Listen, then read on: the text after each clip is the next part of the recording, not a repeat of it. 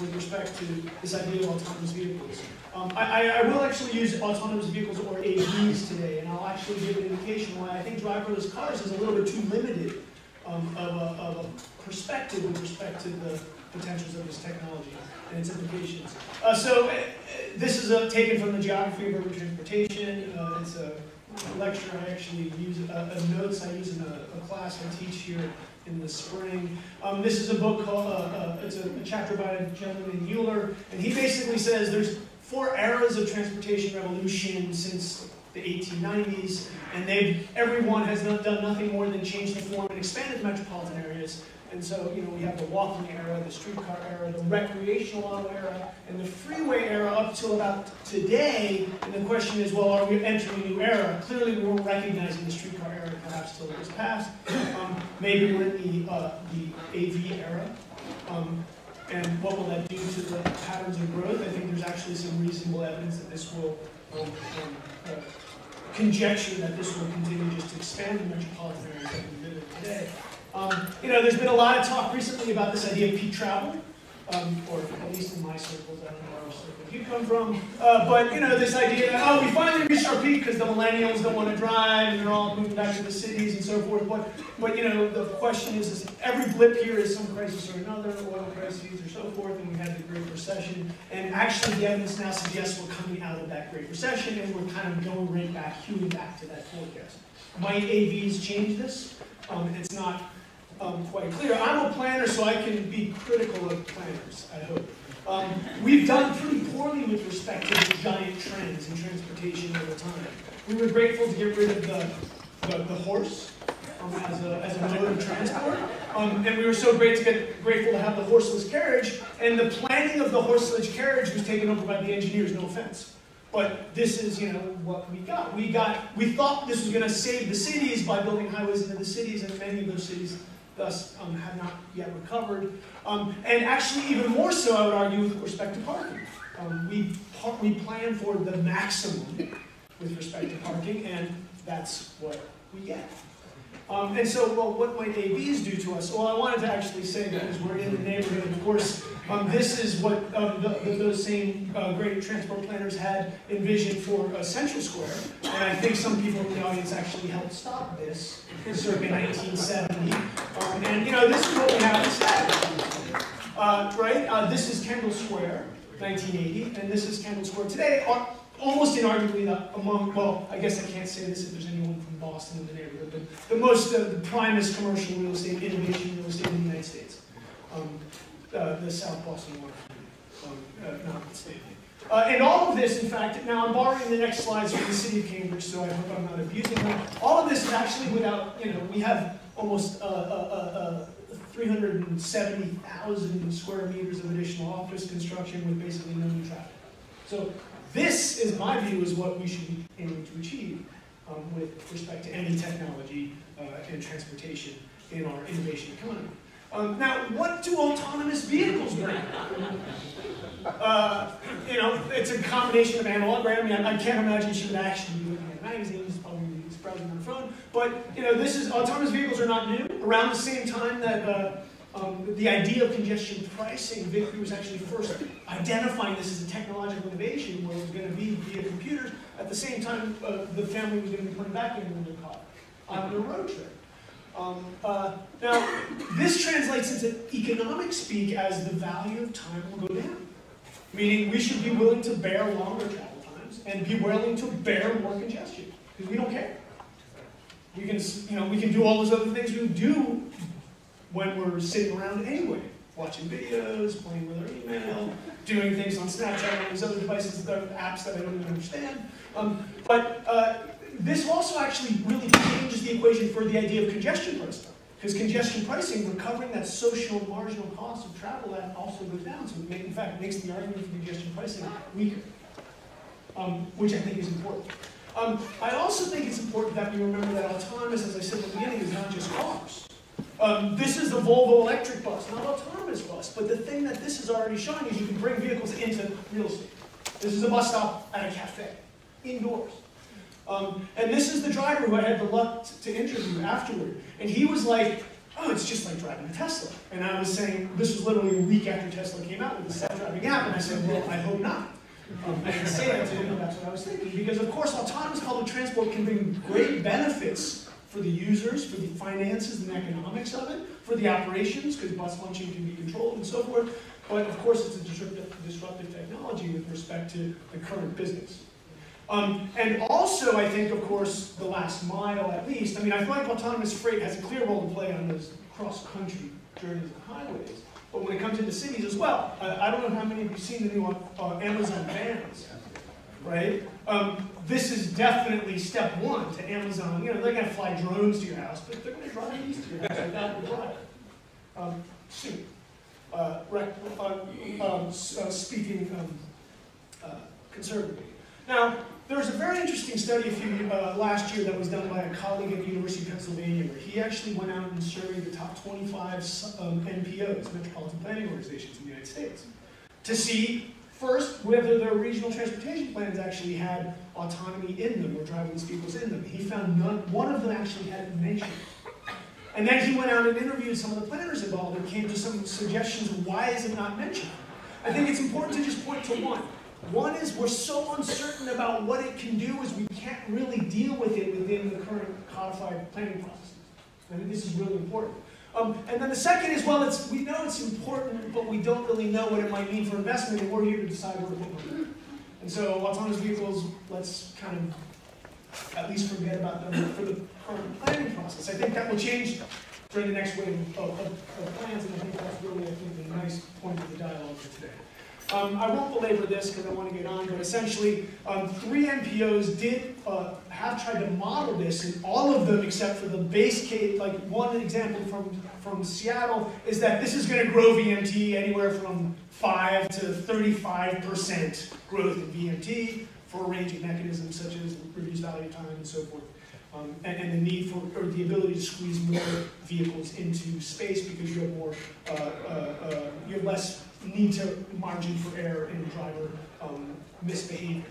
Um, and so I think some of the things I'd like us to think about today, um, again, this idea of what does this do to value of time, um, what this does for our ability to design infrastructure in the future, um, uh, the ability, what, what this might mean for blurring that interface between buildings and public space. Vehicles coming into, you know, drop freight off into shopping malls, for example, uh, the public transport implications, the freight last mile, as I said, um, for infrastructure, especially parking, but for other roadway infrastructure, we much more need to account for the uncertainty.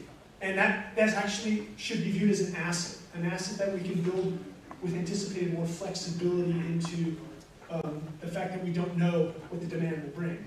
Um, and finally, you know, I think it's worth mentioning that AVs are, are just one manifestation of this whole innovative economy that the Boston region is trying to maintain and foment. Uh, just speaking from MIT, we have two spin-offs within the last six months. Uh, one uh, in Singapore and here in Cambridge that already has about 40 employees. Another one off this ride around Chin spun off. Um, so we're in this realm, um, but I think that we require uh, um, you know, places like Kendall Square to make this realm really um, truly grow. And I think that if we want to consider what autonomous vehicles are, we definitely should not be looking at the future with rosy rose-colored glasses, because I think that's been problematic. Um, we need to start thinking about the formalized planning process and take advantage of uncertainty, because we actually don't know what the forecast should be. So I would say, rather than say uncertainty cripples us from making decisions, uncertainty should make us be innovative in the types of decisions that we make. Tony, thank you very much. It's a pleasure to see so many people here today. It's a pleasure to have our panelists. It's a pleasure for me, always, to be back at MIT. It is true, I napped considerably in this um, but I haven't for a long time. Uh, and I'm not planning to today, because we have a wonderful panel on a fascinating topic.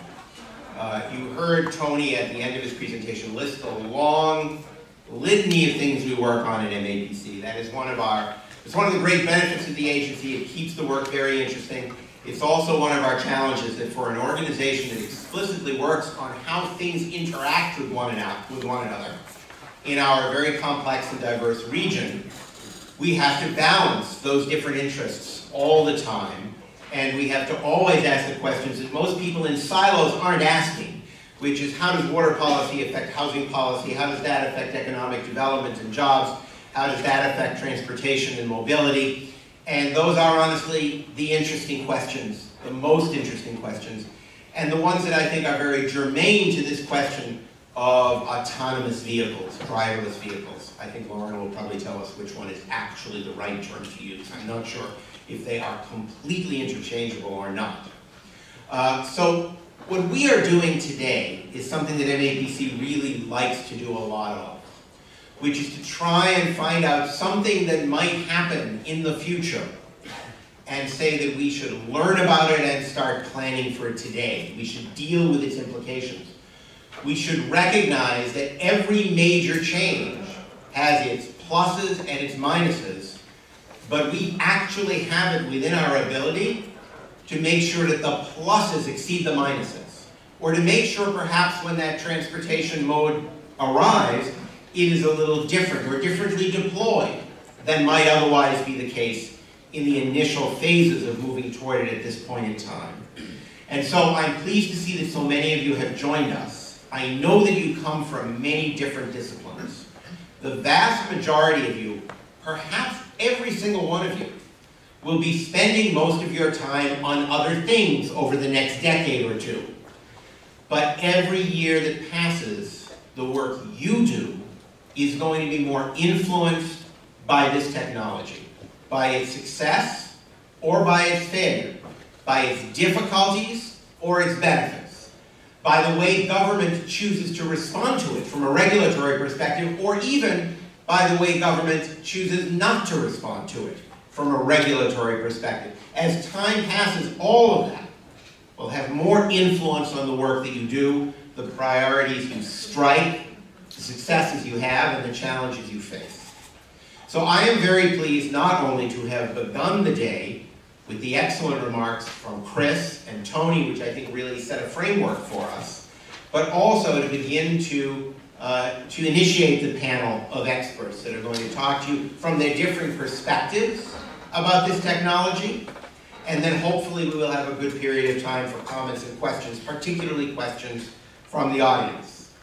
You have already received, I believe, is this true? You've already received bios for all the, all the uh, participants, so I'm not going to go over them in a tremendous amount of detail, but I am now going to just very briefly mention who the four panelists are.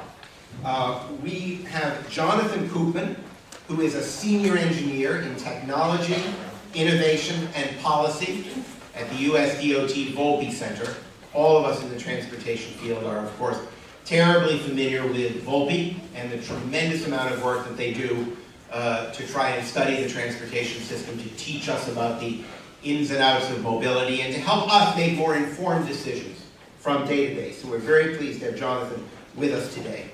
Uh, we are also very pleased to have Lauren Isaac visiting us all the way from the Bay Area.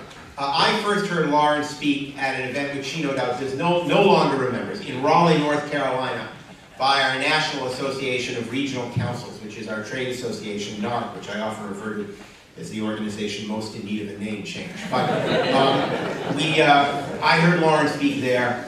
Uh, I and the entire audience were enthralled by her remarks and learned such a tremendous amount about this new technology and its implications uh, not without criticism, but its implications. And uh, I immediately decided that we needed to bring Lauren here, and it's taken a little while, but not actually all that long. And we're very pleased to have um, her here with us today. She works, as best I can tell, at two completely separate jobs, uh, one of which is at WSP Parsons Brinckerhoff, where she is the manager of sustainable transportation. I think not just for the Bay Area, but for the entire country. Is that correct? For the entire country. And at the same time, somehow, she's project manager for our colleagues, Metropolitan Transportation Commission, MTC, for their rideshare program in the Bay Area. So we're very lucky to have Lauren here. We are also very lucky to have joining us shortly. When I popped outside, he was just calling me on the phone.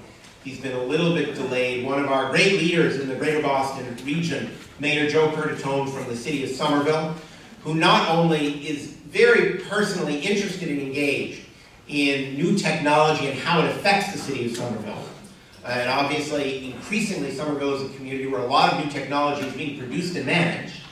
Uh, but he is also a great leader of regionalism in the greater Boston area. He is a member of our executive committee at MAPC.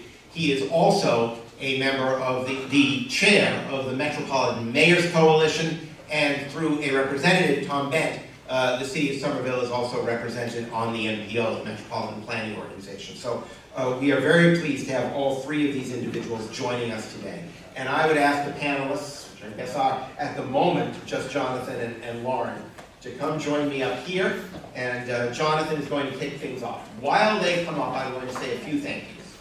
Uh, my biggest, biggest thank you is for a member of my staff who did the lion's share of the work, the thinking and the organizing uh, for today's event. And in fact, is leading our work at MAPC in the field of autonomous vehicles. She wrote a chapter of that white paper along with her colleague Pat Roach, uh, which Tony talked about, that will be coming out later in the year.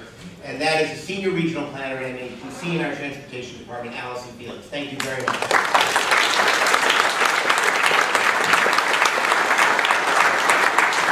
The number of people on our staff who supported Allison and contributed to today's two events uh, are too great to mention, but I wanted to mention two people who were particularly active. Austin Dawson on some of the administrative work supporting today's event and preparing for today's event and making sure all of you knew about it and could be here. And then also from our communications department, Karen Edelman, who is here with us today. Thank you, Austin and Karen.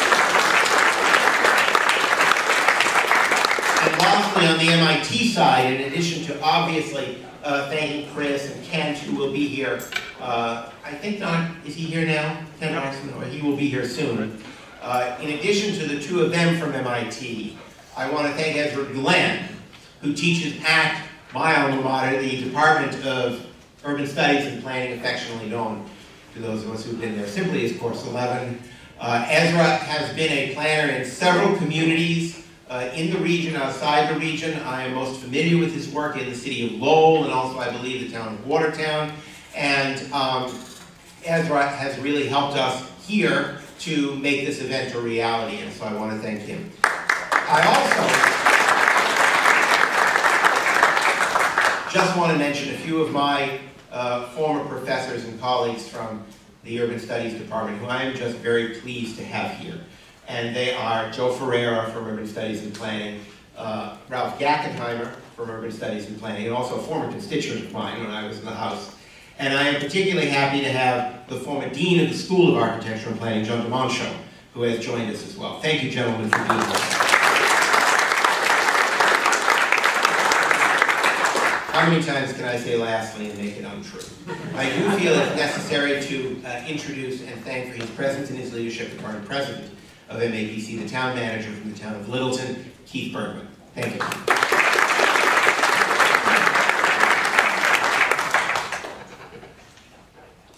And now, I think I was wrong. I think Jonathan is not speaking first, but we are going to let our guest from out of town. Um, as Chris said, my name is Tony Dutzik. I work with an organization called Frontier Group. Uh, we are a nonprofit uh, public interest think tank whose mission is to provide information and ideas to help Americans build a cleaner, healthier, fairer, and more democratic country. Um, and we've been really blessed with the good fortune to have the chance to work with Transportation for Massachusetts and its efforts to help to make sense of some of the implications of innovative mobility technologies in the Commonwealth, uh, and to develop a uh, appropriate forward-looking policy approach uh, to incorporating these technologies into our transportation system in ways that maximize societal benefits. And um, you know, I think all of us are here this morning in part because we see this moment as a time of both profound excitement and profound uncertainty in the future of mobility technologies and what their implications are for our communities, our economy, and our way of life. Um, but I think it's important as a way of setting the stage for the conversations that will follow regarding technology and its possible courses over the next several decades um, to remind ourselves of the role of transportation in our Commonwealth and in our economy, which is to say that transportation, when we travel, we don't usually, with the exception perhaps of taking a nice ride in a convertible with the top down on a sunny day on a beautiful road, generally speaking, we don't travel as people just to travel. We travel and we invest in the transportation system to make ourselves happier, more prosperous, and lead more fulfilling lives than we otherwise would be able to do. And while our current transportation system helps us to be able to do that in many ways, uh, it also falls short of that potential in a number of other ways. And I wanted to spend just a couple of minutes walking through some of the ways in which our system falls short of its potential.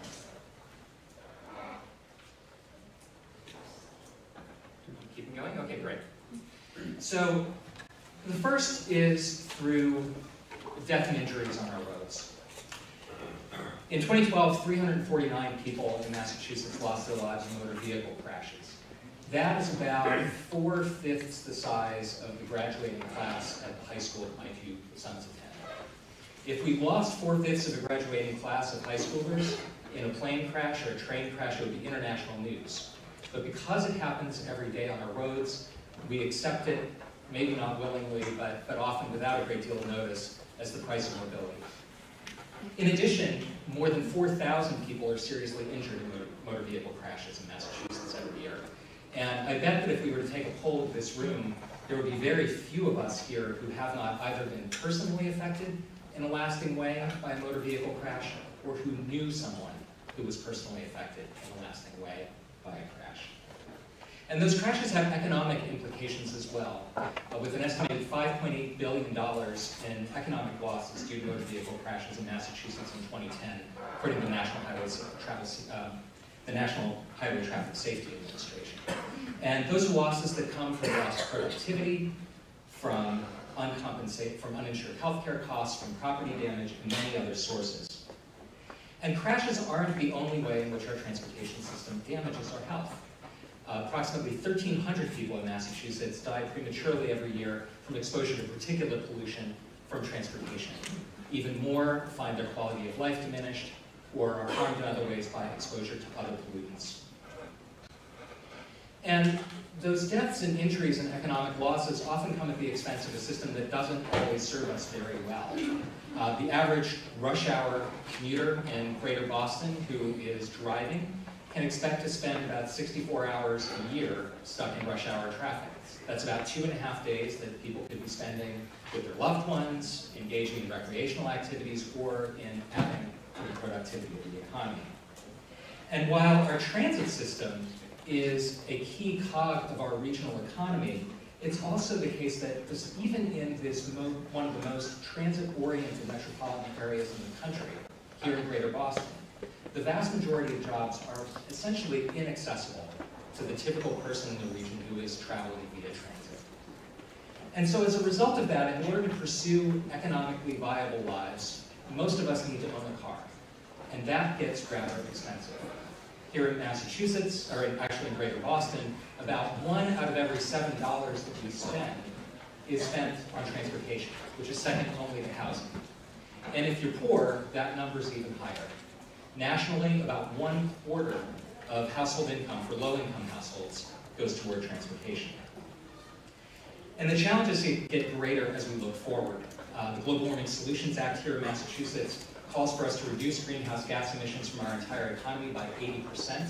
That's roughly consistent with what is believed to be necessary to meet the targets of the 2 degrees Celsius target in the recently approved Paris Climate Agreement. And that is something that is going to require either a wholesale repowering of our transportation system or a transition to a, much transformed way of moving people and goods through and around the Commonwealth, or a combination of both. And lastly, all of that is going to be taking place in an uh, atmosphere of continued population growth. Um, a report last week by A Better City using data from MAPC estimated that between 2010 and 2030, the population of the urban core of Greater Boston will be expected to increase by 17.5%. So I think what brings us here is a sense that innovative mobility technologies create an opportunity for us not only to improve the convenience and comfort of people who travel, but also to address some long-standing problems that had often seemed intractable. And so as planners, as policymakers, as technologists, as citizens, our task is to figure out how to harness that opportunity and not to let it pass us by. So last year, Transportation for Massachusetts, which is the statewide coalition of groups that advocates on transportation issues in the Commonwealth, um, launched the Innovative Mobility Project to bring this conversation about new mobility technologies and services into the communities that those services and technologies will ultimately help to reshape. And the goals of the project are, first of all, to summarize to the public and decision makers the current status of innovative mobility technologies in Massachusetts. What's here, what is likely to be here three, five, ten years down the road. The second purpose is to identify the opportunities and challenges that those technologies and services create for us to address long-standing transportation problems. The third is to develop an, a, a public policy framework to guide innovative mobility, recognizing that both intelligent public policy action will be critical for maximizing the societal benefits of innovative mobility, but also recognizing that poorly thought out government action can in fact hamper the very innovation that we hope to unleash. And lastly, to identify potential new mobility pilot projects in our communities. The focus of this work has been in the development of an innovative mobility white paper, which will be published in the fall of this year. And the process of producing that white paper has brought together people from a wide variety of disparate organizations, from environmental and public interest NGOs to um, folks who work primarily with the business community to planning organizations such as MAPC. And that collaboration, I think, has really served both as a collective learning opportunity that's been invaluable, I think, to folks who are working with communities and helping them to understand and improve transportation, um, but it also brings a rather unique perspective and, and flavor to the conversation, which I'll talk about in just a moment. And the white paper has been informed by interviews with innovative mobility practitioners, including probably a couple of people in this room, um, four roundtables that have involved an array of uh, stakeholder groups from business groups to uh, community organizations to academics uh, to other experts, including one roundtable was focused specifically on conversations with community-based organizations representing low-income communities and communities of color in Boston, which are groups that tend not to have their voices be often very well heard in these conversations. Um, the white paper is also informed by a survey of T4Mass members and by review of relevant literature. And you'll notice that I've been talking about innovative mobility as opposed to driverless cars or autonomous vehicles here. And that's for a reason, uh, which is that it's important to recognize that even as we are making tremendous strides toward autonomous vehicles in the lab and increasingly on the streets, that there are a number of other changes that are happening in transportation that are both important in their own right and that have the capability to shape how the autonomous vehicle revolution plays out over the next couple of decades. So among those new tools and technologies are information technology that supports sustainable modes of travel, um, folks who use um, multimodal trip planners or mobile payment or other ways of using information technology to better interact with the transportation system. Shared mobility services such as car sharing, bike sharing, Lyft, Uber, microtransit, um, as well as other changes that are happening that aren't necessarily covered in our white paper, that are happening outside of this you know, sort of innovative mobility, tech-driven world that are also very important. Uh, one of them is the continued reduction in price and improvement in performance in electric vehicles. So we talked a little bit about, uh, about the Tesla breakthrough uh, with public acceptance of electric vehicles, um, the sense that um, we are potentially going to be moving to a new fuel and vehicle realm in transportation within the next couple of decades, um, as well as changes that are happening outside of technology entirely. Things like the reconcentration and resurgence of our urban core, certainly relevant here in Boston and, and in Kendall Square and Cambridge, um, as well as uh, increases in the use of low-tech transportation, bicycling, walking, and the like. Um, and then finally, sort of the broader economic changes that are sweeping through our communities and the economy at large. So while we talk about autonomous vehicles as being an important technological change, and it is, we also have to recognize that the context in which that change is happening is also going to be evolving over the next couple of decades. And we need to be cognizant of those changes. And so in the Innovative Mobility White Paper, we've been looking at an array of potential impacts of innovative mobility services and technologies. And importantly, we've been trying to expand this conversation out from the urban core, which is usually what we think of, certainly what we think of when we think of Lyft and Uber and microtransit services. So much of that is happening and been pioneered in places like Boston and Cambridge.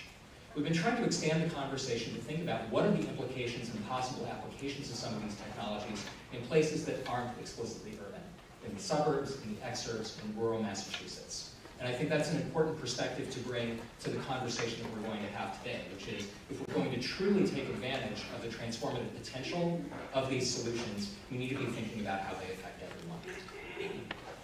And so when it comes to autonomous vehicle impacts, um, you know, one of the things that we have looked at in the white paper uh, has been much of the discussion, and I'm sure that the panel will be talking about this very soon, about different implications of different deployment trajectories and different modes of deployment of autonomous cars.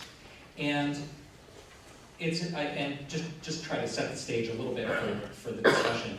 Um, the implications can be quite different depending on the model of deployment, so whether we use autonomous uh, vehicle technology to reinforce the current system of individual vehicle ownership that we have today, or whether it is part of a broader transition to shared networks of vehicles. That has important implications. And it also has important implications how we integrate autonomous vehicles into the transportation system more broadly.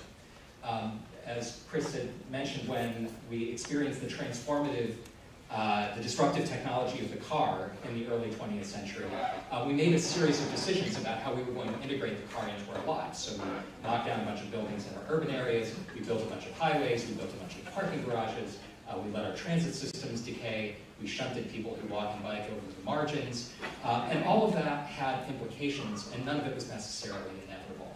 So how we integrate these solutions into the transportation system will be very important. And public policy plays a critical role in that. Um, and it may, in some areas, play a decisive role.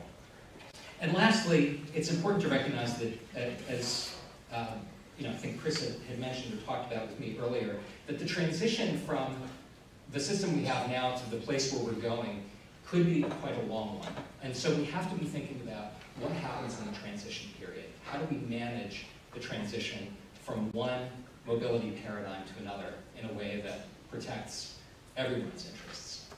And so I think we can look forward to a great panel this morning, and I'm so glad and thankful for you all to be here. And to moderate that panel will be Marc Draisen. Um, as Chris said, my name is Tony Dutzik. I work Hi, good morning, everyone. Thank you so much for having me. Um, yep, I'm there. Um, that was the nicest introduction. So, um, so about two years ago, um, I started reading about driverless cars, and by the way, I do use the term autonomous vehicles, self-driving cars, driverless cars interchangeably, and that can be debated, I'm happy to debate it.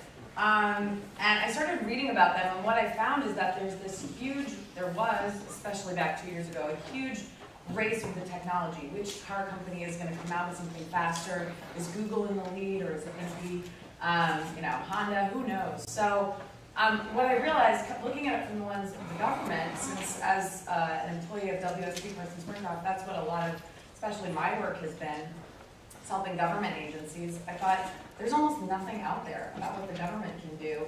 And so I started reading all the news from that lens, and, and that led to me applying for an internal fellowship program and spending the last two years essentially researching and developing a guide for how government can plan for driverless cars. So um, I'll, I love to start with this graph.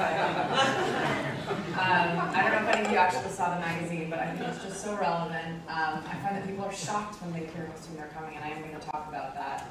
Um, so I talk really fast. I'm from New York, so but I feel like I'm a good company. So, um, but I'm going to get through all these things. Um, driverless vehicles 101. I think it's important to just establish a baseline of knowledge around these. I'll zip through that, talk about what's going to happen to our society. We've already heard some of that mentioned.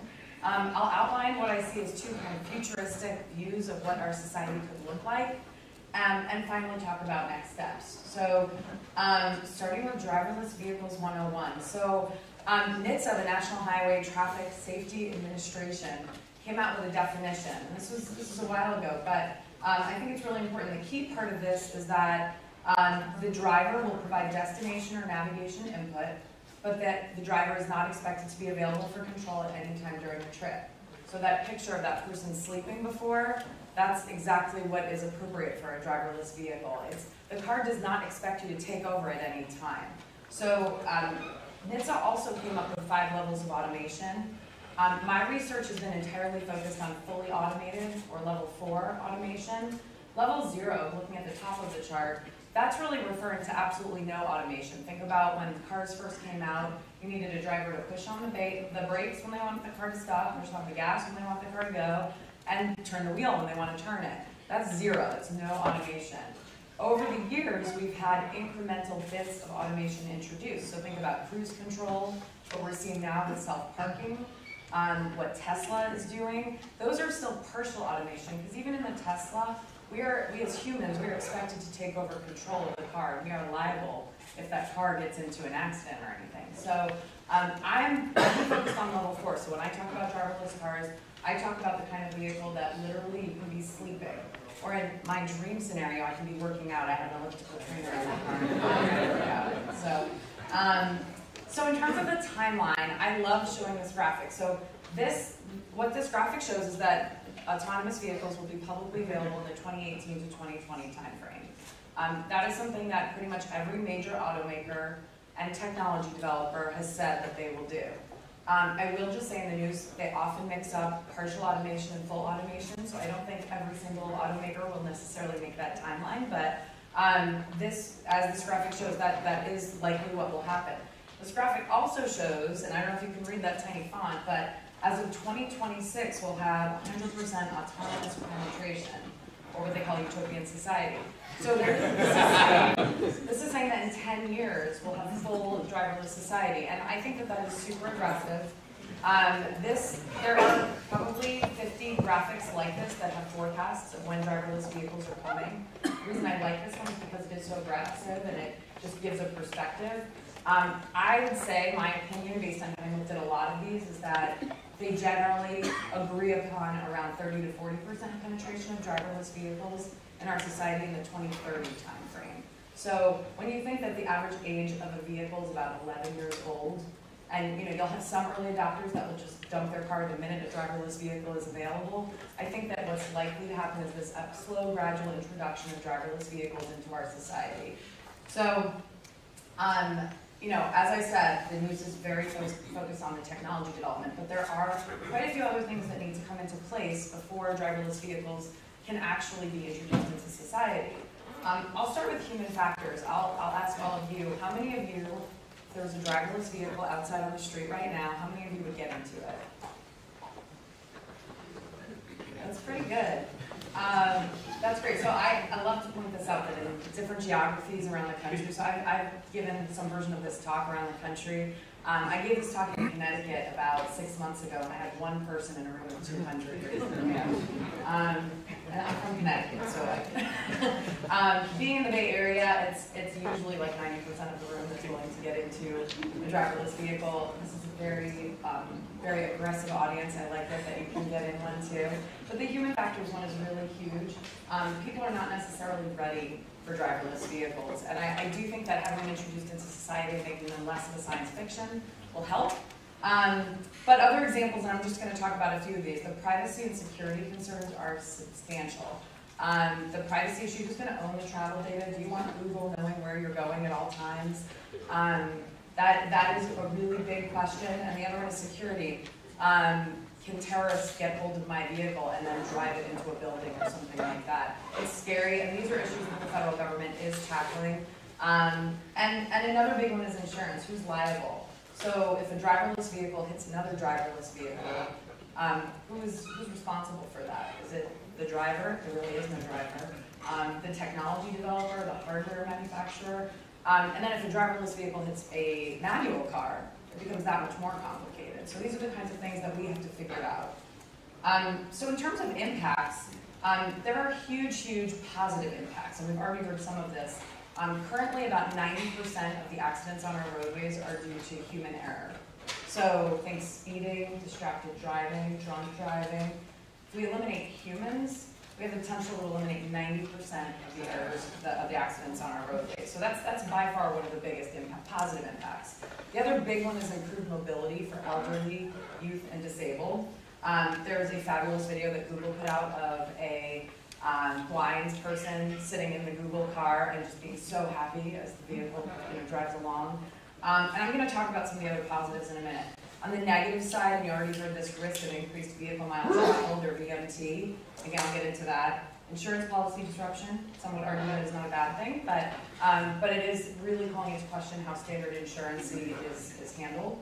Um, increased urban sprawl, um, the whole value of time thing that we heard about, there's significant concern that people are gonna be willing to live much farther from where they work. Um, and if that happens, we could have, you know, go from having less dense, more dense cities to less dense cities. Um, and what does that mean for every aspect of city planning? And, finally, job loss. As with any disruptive technology or disruption, um, there's going to be a big impact on jobs. Um, think about all the driving professions, but also the industries that have been created around the driving professions. Um, that being said, I think it's important to note that driverless vehicles, as with any disruption, will also create a lot of new jobs. It's just going to be a transition as we go from that um, certain sectors of job loss to certain sectors of job gain. So I like to just highlight some of the other industries impacted because driverless vehicles are going to be disruptive across our entire society. It's not just the trucking industry, the drivers that are going to be impacted. So um, I'm going to highlight a handful. Um, it's really actually fun to brainstorm others, but um, car suppliers, you know, driverless, driverless vehicles and just in general vehicles, um, while the hardware may stay the same, the design of the cars is likely going to change, but also there's going to be a lot more technology involved, like biometric entry instead of keys to get in. And the bumpers are probably going to be very sensors driven so that you don't have accidents. Um, so car part suppliers are going to be greatly impacted with the, what the car parts are. Um, advertising, you know, um, advertising companies, there's going to be a ton of data available about where we're going and when. So advertising companies will actually have a plethora of new data to use to give very targeted advertising for us. Um, car repair shops, you know, there will still need to be repairs, but the skills needed to address the car and the new technologies will change. Car dealerships, that question of if ownership of cars will continue at the same level, if there's um, more of a shared use society, it is possible that the car dealerships are going to see a big um, decline in sales. Brick and mortar stores, I think it's really interesting to think about even now how our lifestyle is changing with how we do shopping. But with driverless vehicles, you have the ability to send your vehicle out or send a vehicle out, pick up your goods, and bring it back for you. So the actual design of brick and mortar stores might be more geared towards pickup and drop off, um, another interesting model is that the cost of transporting people is going to go down so much. It's possible that cars, that stores, think for example a Kmart or a Walmart, could actually pay to pick, drive, pick shoppers up and bring them to their store. So it's really going to be thinking, rethinking the whole business model of stores. Um, a couple came up at the same time. Driving professions, that one's pretty straightforward, but everything from taxis, which we're already really seeing disrupted, um, but the trucking industry is a huge one. I've seen stats that something like 10% of the jobs in the United States revolve around the, the, trucking industry, so not just driving, but everything around it.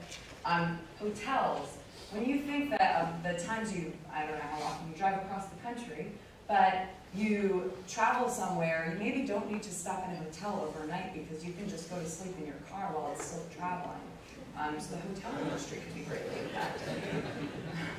Um, insurance, I already talked about that, and data analysis. Um, it's, it's not going to be just in terms of protecting people's data, but also the ability, the skill set that comes with data mining and data analysis. There is going to be so much more data available. We're already seeing it today, but those professions are going to have that much more importance. Um, and healthcare. So I actually did this talk a couple of weeks ago, and someone raised their hand and said, um, what about organ transplants? Aren't we going to have a lot less organs available? People. yeah. So, um, there, so ripple actually huge. So, um, okay. So, our driverless future. So, if you can all kind of travel with me to the future, think forward like 50, 60 years, and we do have a fully driverless society, I'm going to lay out a couple of different scenarios with this lovely background. picture. So, um, so the first scenario I'm gonna lay out for you, um, I call it the utopian scenario. Uh, sorry, wait, no, I'm gonna do the nightmare first. Um, so, um, imagine a world where, so imagine I live in the suburbs, any, pick any city, I live in the suburbs, I'm a mom, um, I get my kids ready for school, and then I summon my private car, driverless car, to come pick my kids up and bring them to school. So the car comes, picks up the kids, and takes them to school. During that time, I finish getting ready, and then I summon that car to come back, pick me up, and then take me to work. So I get in the car, and there's likely a lot of traffic, but I don't care because I have a coffee maker in there, I have a big screen TV with the news going. Um, I have my elliptical trainer, of course. Um, and, and I I, you know, do my workout, get my job started for the day, and it's just this wonderful, wonderful time. And it might take me maybe even double as long to get into work, but I don't really care because I have this amazing, you know, um, backseat that I'm able to hang out and have a productive day, so or productive morning. So I get into my office, um, and then I send the car out to pick up some, some errands for me. So first I have it go to three different grocery stores because I want to get the cheapest toilet paper, the cheapest produce, and then the cheapest um, um, so the car kind of does all these errands, and then it goes to a remote parking lot about 15 miles outside of the city and waits for its next assignment. So um, I would just say I've had quite a few people say that sounds amazing. What's so bad about that? But as a room full of what seems to be a lot of planners, I think you can appreciate that that has huge risk for adding a lot of extra vehicle miles traveled. So not only are you adding a lot of additional unlinked trips with unnecessary um, trips, but also you're doing it when there's no driver even in the car. So this is this is multiplying by many folds, many times. So so that's the nightmare scenario. I'm gonna play out the exact same scenario, what I call the utopian scenario. Um, so I wake up in the morning, get my kids ready for school, and then the driverless school bus comes and picks up my kids. Driverless school bus then drops them off, and I go, I get ready. Once I'm ready, I use my smartphone and I summon a ride, and a little pod car comes, picks me up, picks up a couple of my neighbors, and brings me to the local train station. Um, it is perfectly timed, so I get there and I immediately get on my train. I never take out my wallet because my phone is able to do the whole thing seamlessly. And then when I'm on the train, I have a lovely commute in, I get some work done, um, finish up, get a nap, get into my office, and then I also realize I need some groceries. So I pull out my app, similar to actually what a lot of us probably do today with Instacart or Amazon, pick out the groceries that I need, and then um, go about my workday, and I have the groceries delivered that night. So, so these are the two scenarios I just described, the nightmare and the utopian. And they're highly dependent on the level of vehicle and ride sharing that happen. So what I'm gonna do is, and by the way, I, I like to point out these are very extreme scenarios. Um, likely in the future we'll have somewhere in the middle, but what I, what I believe is that the government's role is really important for influencing where on the spectrum that we are. So um, I want to lay out what could happen in these extreme scenarios, what the impacts are to our society. So in both cases, safety would be extremely improved because you have fully driverless society, so you're going to have, you're going to eliminate those human-driven accidents. Um, in both cases, vehicle miles traveled will likely go up. Um, obviously, in the nightmare scenario, you have huge potential increases. Even in the driverless utopia, even in a fully shared society, most models predict that there will still be some increase, and that's just due to kind of like the, the circulating fleet and some time to pick up people and that kind of thing. Um, greenhouse gas emissions are forecasted to go down. What I find really interesting is that just about every study assumes that with driverless vehicles, we're going to have electric um, fuel. And these technologies are being developed entirely separately. So um, it is a huge assumption to say that greenhouse gas emissions are going to go down with driverless vehicles, but I do hope that that's true. Um, urban sprawl, like I said, could go up significantly with driverless vehicle with um, the nightmare scenario. Parking requirements, well, in the nightmare scenario, it might not change that much from today. Um, because in that scenario, it's actually pretty similar to how we use vehicles today with continued ownership of um, our own cars. In the utopian scenario, however, we could have way less parking requirements, which is huge when you think about the impacts to our downtowns. Um, roadway maintenance requirements will likely be improved either way with the idea that driverless vehicles have much smoother acceleration and deceleration, so the impacts to our roadways will be less. I also had someone point out to me that, that because driverless vehicles will know exactly where to travel, you could have deeper ruts in the road because it'll be on the exact same spot every time, so I guess that's debatable. Um, and finally, low income mobility. Um, you know, in the driverless utopia scenario, the idea that there's a really rich, reliable, dense transit system, and that has very significant positive impacts for low income mobility. Um, in the nightmare scenario, it is possible that with everyone having driverless vehicles, public transit could literally only exist for the lowest, lowest um, kind of um, um, segment of our population, and it could be very, very minimal. So low-income mobility could go down significantly. So our future streets, I'll just go very quickly. Um, you know, especially with the idea with a shared fleet, um, if parking needs were to go down, that's estimated to take about 15 to 20 percent of our city streets, um, of our sorry, of our city land. So when you think about what that opens up for potential of what you could do with that land, um, it's huge. And, and similarly, something like 30% of traffic in our downtowns is due to circulation of people looking for parking. So if you eliminate that, you also have extreme decreases in congestion, decreases in congestion. So um, future suburbs, it's really kind of fun to think about, you know, um, people's houses without any driveways. Um, and the other thing is you can limit potentially driverless deliveries to be only at night. So you get really a more of a community feel during the day because you don't have anything but lo- local traffic coming through. So um, there are a lot of kind of images like this out there. Um, and then next steps. So um, this was really the crux of what I was focused on is what can government do to start to influence this? Because technology developers and automakers, they are moving forward basically with or without you. um, they're out there and they're developing this very, very quickly. It's making this very exciting. It's following the news, literally it changes every week. Um, but from a government perspective, what can the government do? So I thought of it like we need to kind of divvy up what does the federal government need to focus on and what state and local governments need to focus on. And at the federal level, I think it's most important to think about the things that need to happen consistently across the states. This is a huge bone of contention right now is that right now we have a patchwork of, of regulations happening state by state. It's very difficult for technology developers to advance the technology if they're going to have to think about different regulations from one state to another.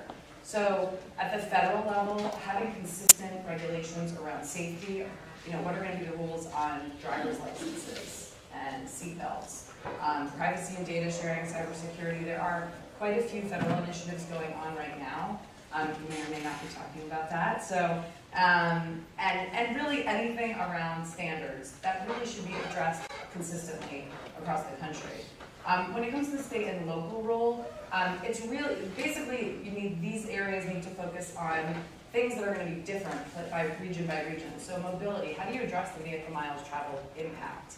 Um, infrastructure, so seemingly you don't have any infrastructure impacts with driverless vehicles since the technology does not rely on any kind of communication from the roadway. However, when you think about, um, even now with Uber and Lyft, I would imagine this is true just like in San Francisco, where you have Ubers and Lyfts constantly dropping off on these major roadways, and you have traffic buildup from, you know, cars built up on the side. So having more pickup and drop-off locations is going to be really important. It's also likely that there's going to be changes in speed, um, uh, speed limits, um, changes to traffic signals. I mean, just the way that, that uh, vehicles travel is going to change, so infrastructure will need to adjust as well. Um, and then transit. I like to say that transit is going through an identity crisis even today. Um, transit agencies are going to need to really rethink how they're putting services out there. Everything from the vehicles that they use, are they going to turn their fleet into a driverless fleet, um, all the way to what service they provide. Um, it's quite possible, I mean, Uber are already kind of challenging the traditional transit model that traditional fixed route service may not be the answer in all different kinds of dense areas or different levels of density. Um, and finally, the financial implications. These are huge. Um, think about how many cities in our country rely on speed ticket revenues for their um, for their towns. Speeding tickets will likely be a thing of the past. So um, that's a huge one. Sales tax revenues. When it comes to vehicle ownership, if we see a decrease in vehicle ownership, the sales tax revenues that comes from selling cars could go down significantly, and that's a government, government revenue stream. Um, at the same time, costs could change as well, so there's a wide range there. So what can be done now, and I will zip through these, but I think it's super important that government at all levels stays really educated on what's going on. So that's doing everything from following the news, following my blog, um, just, just staying up to date since things are changing so quickly. But the other key piece of it, jumping to another piece in here, is developing partnerships and relationships with the technology developers and the automakers, um, because they need you just as much as you need them. That's always the message I think is so important to take away. Um, right now, there are quite, there are a few places that are private companies developing the technology that have partnered with the public to be able to use um, public testing grounds. So for example, in the Bay Area, GoMentum Station um, is a partnership between Contra Costa Transportation Authority and um, where, because they have their old naval weapons uh, military site, and, and they're having Honda and other um, companies do testing there. So it's a really nice example of a partnership where they're able to kind of um, share information and establish that relationship now while the technology is still under development. Um, I think it's very important to incorporate driverless vehicles into an agency's goals, even if you don't know what the future will be, just acknowledging that they're coming. Um, and then starting to incorporate them, the positives, into what you want to see. So if you want to see a reduction in greenhouse gas emissions, then you want to see a reduction in vehicle miles traveled and use more electric vehicles, et cetera, et cetera. Um, establish policies and plans with consideration for the future. Um, you know, right now, I think we heard this before, most plans, most MPO plans, but you, you know, city plans, et cetera, do not even acknowledge driverless vehicles are coming. So, um, incorporating them in is really important. And then the ride sharing, really important. There is no reason why we can't be ride sharing now. This is why my other hat of running the ride share program in the Bay Area is kind of very relevant because um, encouraging carpooling and getting more people to share rides now and building that mindset is just as important now as it will be in the future. So um, with that, I will just share some contact information. I'm constantly posting um, news related to driverless vehicles on my Twitter feed, so please feel free to follow me. I maintain a blog, and if you're interested in the guide that I made for government agencies, the best way to get at it, since that URL is really messy, is to go to my blog, Driving Towards Driverless, um, and get access to it there. So I don't, I don't know if we're doing questions now or after. After. Okay, so thank you very much. Hi, good morning, everyone. Um, so as somebody who just drove part of the way across country last week, I can appreciate not only hotels, but, uh, the desire to have driverless vehicles. Um, I thought that the new, I thought of a new slogan for Kansas where it should be restful and relaxing, no turns required. It really is, you know, you basically set your cruise control, so you have some level of automation, if you want to think of it that way. Some, some aspect of your car is controlled for you, and you are basically keeping the car straight. That's all you're doing. So, uh, I work for the Volpe Center, uh, right here in Cambridge, Massachusetts. Uh, hopefully most of you know of us. If you don't, please come by and visit sometime. Um, and I'm here today to talk about what the federal role is in automation. And, um, I want to just say my remarks here are uh, my thoughts and my, and my comments, and not necessarily representative of the Volpe Center, the Department of Transportation, or the U.S. government. So with with that, with that said, I can, I can say, say, say more than I, than I would if I had to follow exact party marks. speaking for the president, that's why we invited you. Yes, yes. I didn't check to see if this is an approved time or not, so I should. All right, so briefly a bit about the Volpe Center. We are right down the street. It was a very short, brief walk here today. Uh, we do a lot of work with uh, MIT, so I'm happy to be here. Uh, we are 570 federal employees, over 400 uh, contract folks, and we are a wide variety of uh, support to various parts of the Department of Transportation. We provide engineering, information technology, economists, policy planners, um, and most importantly, we, advance slides automatically, we, um, we are a fee for service. So what we do is we work on behalf of other parts of the Department of Transportation. So we support all different modes and we pride ourselves in being multimodal. And so what I'll talk about today will cross several modes of the Department of Transportation and touch upon um, several aspects. Okay, so I'm really happy that I followed Lauren because I get to skip all of the stuff I normally have to do, which is what is an automated vehicle, what are the different levels, what are the opportunities, what are the challenges. But I want to remind folks that there are a lot of different um, contrasting points of view here and a lot of different um, possible futures. And um, one of the key things that um, we want to do is really look at the opportunities across all the different folks who are going to be impacted, which is everybody, and make sure that nobody is left behind. So basically, we want to think about some of the opportunities, but also some of the, shall we say, mistakes that were highlighted in the past in terms of how private vehicles um, have gone into our transportation system and some of the challenges that they've brought about. So the US DOT is doing a lot in the automated vehicle space. There's a lot more that needs to be done, but I want to spend a little bit of time highlighting some of the activities that we're taking part in, and then I'll spend the last part of my uh, presentation on some of the reflections to a, to a local level that we've seen, again, from our federal support. So um, here's a picture of Secretary Foxx getting out of uh, one of the automated vehicles when he made a visit out to the Bay Area, uh, one of Google's vehicles. And he has taken a great interest in automated vehicles, and as has the administration, because of this, the importance and the pace with which development has been happening. And he has committed the department to provide guidance on the safe deployment of and ultimately state um, recommendations on the deployment of uh, automated vehicles. Uh, that was a declaration he made in January, and there'll be additional guidance coming on that topic uh, next month, um, which I'm really excited to see. I actually am not personally involved in it, so I'm really excited to see what, um, what comes from that and what help that provides answer some of these key questions that we have. There's also, um, and I'll speak in more detail about this, several other initiatives that he's focused on that help not only uh, enhance equity, but also push forward the deployment of some of these technologies here in the United States, because there is a very international uh, interest in this, and we want to make sure that the United States stays a technological leader in this area.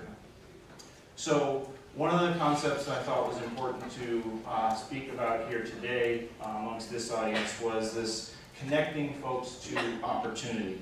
And there was a challenge that the Secretary launched um, about this concept where he wanted to make sure that folks were not forgetting about those who have um, the social inequities and the challenge for low income and other folks. So um, while we can't necessarily address everything that's been done in the past, we want to make sure that we take these principles forward in the future. So there's been a couple different, I mentioned there's a couple of different uh, initiatives going on. Hopefully folks have heard about the Smart City Challenge. Uh, it was a very successful um, initial launch. We had 78 cities who were interested in participating in this program. Um, up for grabs was $40 million to the, win to the winning city, with an additional $10 million provided by the Vulcan Foundation and some other partners as well.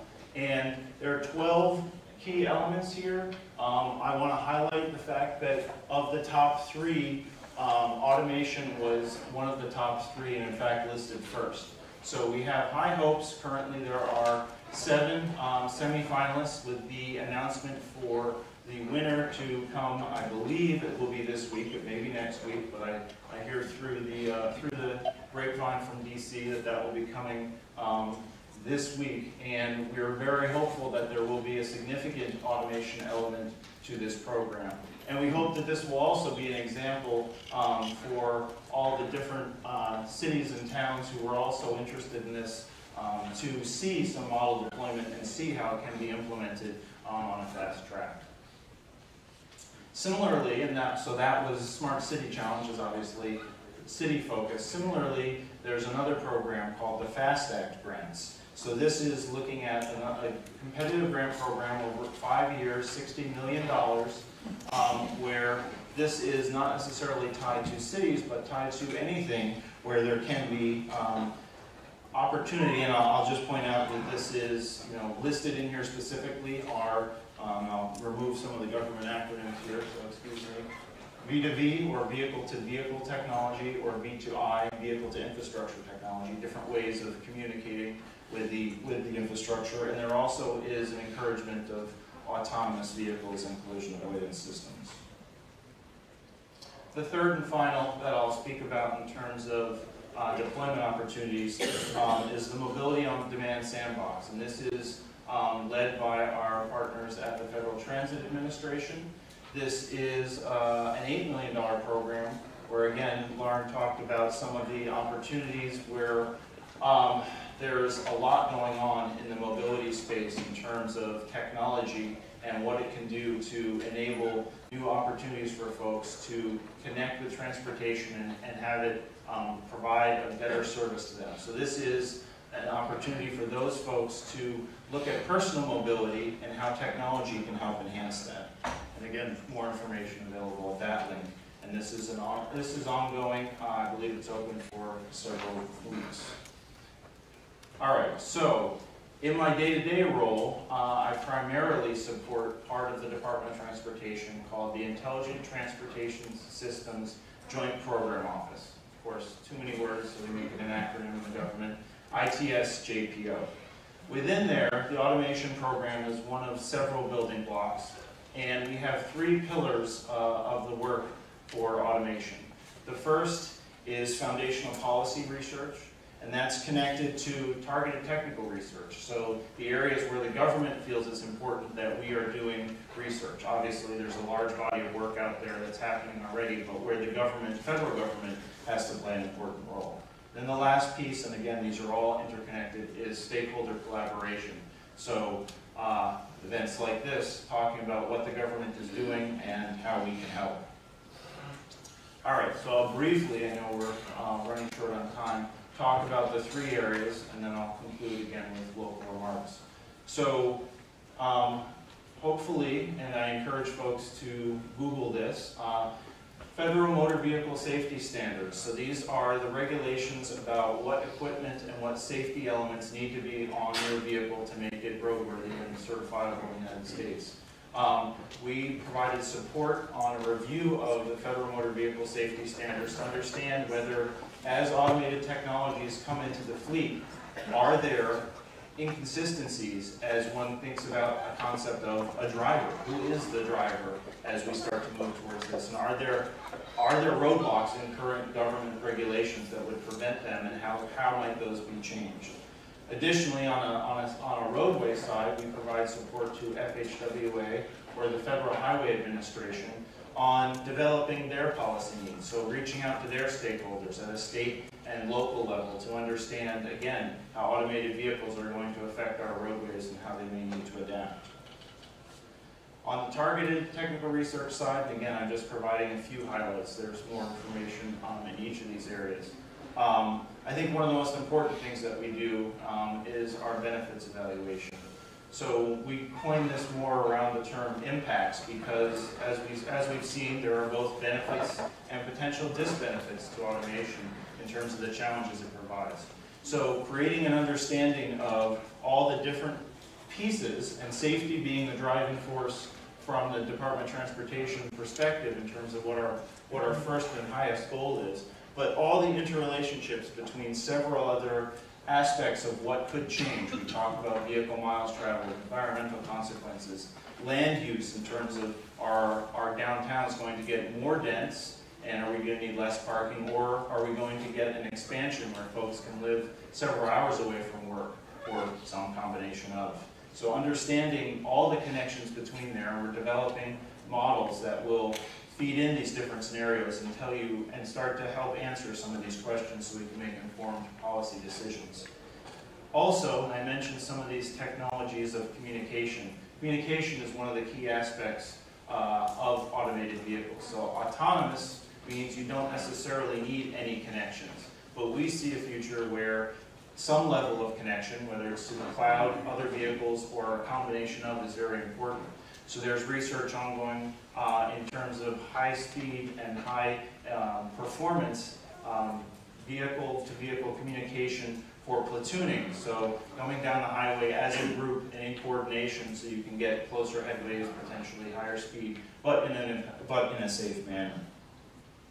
And lastly, stakeholder coordination. So I spoke about, I'm here today to do part of that, but there's a very large effort behind the scenes that focuses on a national level in terms of all the different modes I've started to speak about today, but also on an international level. So there's a lot of activity happening now, and frankly, more a lot more dollars being spent uh, internationally, both in Europe and Japan. So coordinating with those folks in terms of uh, the research that they're doing, but also um, ultimately, hopefully, we're working on data sharing agreements and otherwise, so that we can all uh, move the technology forward as quickly as possible.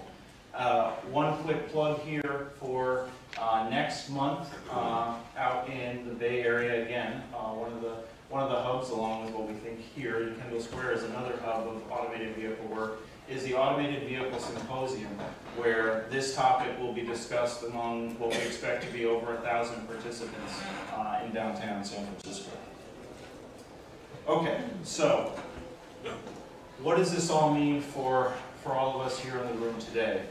Um, as I started to think about this and, and put together um, sort of some summary thoughts and slides, and, and uh, I'm not, I, I shouldn't say that I'm old enough to have watched this in anything but reruns, but I thought of Get Smart, and I immediately thought of his shoe phone. And if anybody can remember that, you know, he had a, he had a shoe that had a built-in telephone, and that was how he would communicate, his, the secret agent would communicate back to headquarters and otherwise. And that seemed so revolutionary and technologically impossible.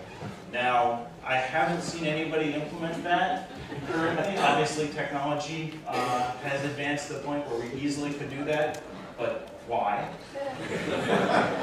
but ultimately, it's a good example of, you know, so there was there was a there was a picture of the future. This this secret agent who had this ability to communicate with folks anytime he needed to, in a well not so covert way by picking up his phone, but he had that capability. So we look now at automated vehicles and we think they offer all these great opportunities, but we don't necessarily know how they're going to roll out.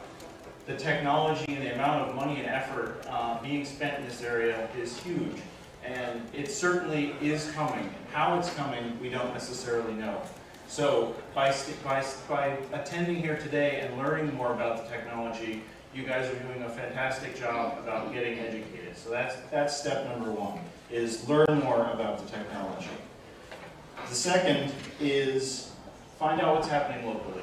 So again, we'll talk, at, I'll be followed by Mayor Curtatone, who'll talk more about some of the, op- some of the events and some of the opportunities that are happening here uh, in, right around you.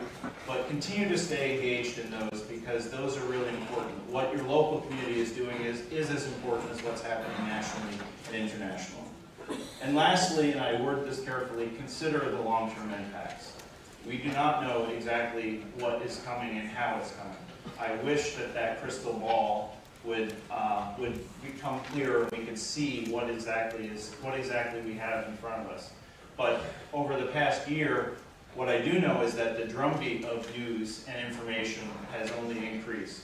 And we see more and more press releases about mergers and about um, projections about what's going to come.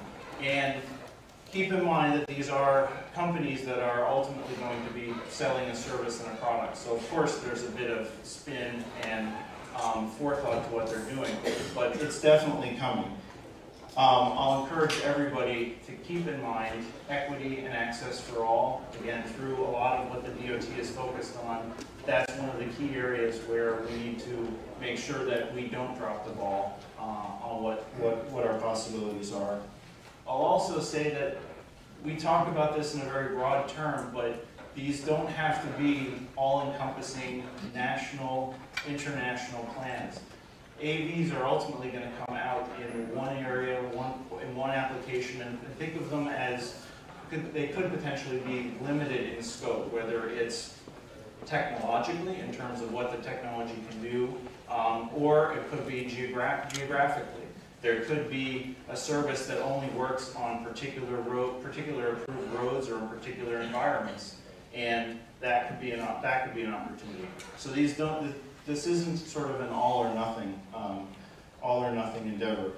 Um, as you look at um, how this may impact your local communities, think about it um, in a phased approach as well. Lauren talked about some of the timeline here and also some of the, some of the challenges of, you know, the average vehicle age is 11 years, typical replacement is more around 17 to year time frame. These vehicles don't turn over very quickly, so even if the technology does prove itself very strong and very capable in the near term, it's going to take a while, so we will be in a mixed-use environment. So how that plays out and how you plan step by step is important. And lastly, um, consider your regulatory environment. Lauren mentioned some of the patchwork that exists right now. The government announcement next month should help, should help provide um, some clarification on state roles and federal roles in terms of the safe deployment of vehicles, reg, regulation, and testing. But these are um, these are changing times, and the local is very important as well. So lastly, uh, I didn't, I didn't confirm, but I'm very glad that I had a different picture of Kendall Square than you, than you did. Um, I made sure to pick one where it was long enough ago that you can see it is a very different place, but recent enough that my fair building exists in the picture, so Vol- Volpe is there, um, but surrounded by uh, industrial area and parking lots. So We'll, we'll hear more about what's happening in Somerville, but right here in Kendall Square, there's a lot going on. We saw the talk, we saw the numbers about traffic and how that has remained steady, but we also, as somebody who uh, bikes to work on a daily basis, I can say that bike traffic has increased dramatically. We know that the red line loads are significantly higher. So this, this change that we're seeing in the building up of the area and more folks coming in hasn't impacted vehicle traffic, or at least from what I've seen, has at least kept it moving. But how will AVs change that? One of the futures that, that Lauren presented was this movement and this drop off and the potential for increased vehicle miles traveled because people are coming in and out. So we currently regulate and, and maintain things usually because market demands and parking restrictions and parking costs. But if parking costs disappeared and all you had to do was get dropped off and your vehicle went somewhere else to park, how would that impact Kendall Square? And I'll leave you with that sort of local example and local thought, thought to chew on, and then I will pass it to the good man. Thanks, Marc. I was going to apologize for being late, but a former colleague and former mayor of Amesbury, Thatcher Kezer, um, reminded me that mayors are never late, they're just delayed elsewhere, so thanks, Betsy. If I had, no offense to the officer assigned me, if I had an autonomous vehicle, we'd be here 15 minutes earlier, but it is what it is. Uh, thanks, it's great to be here.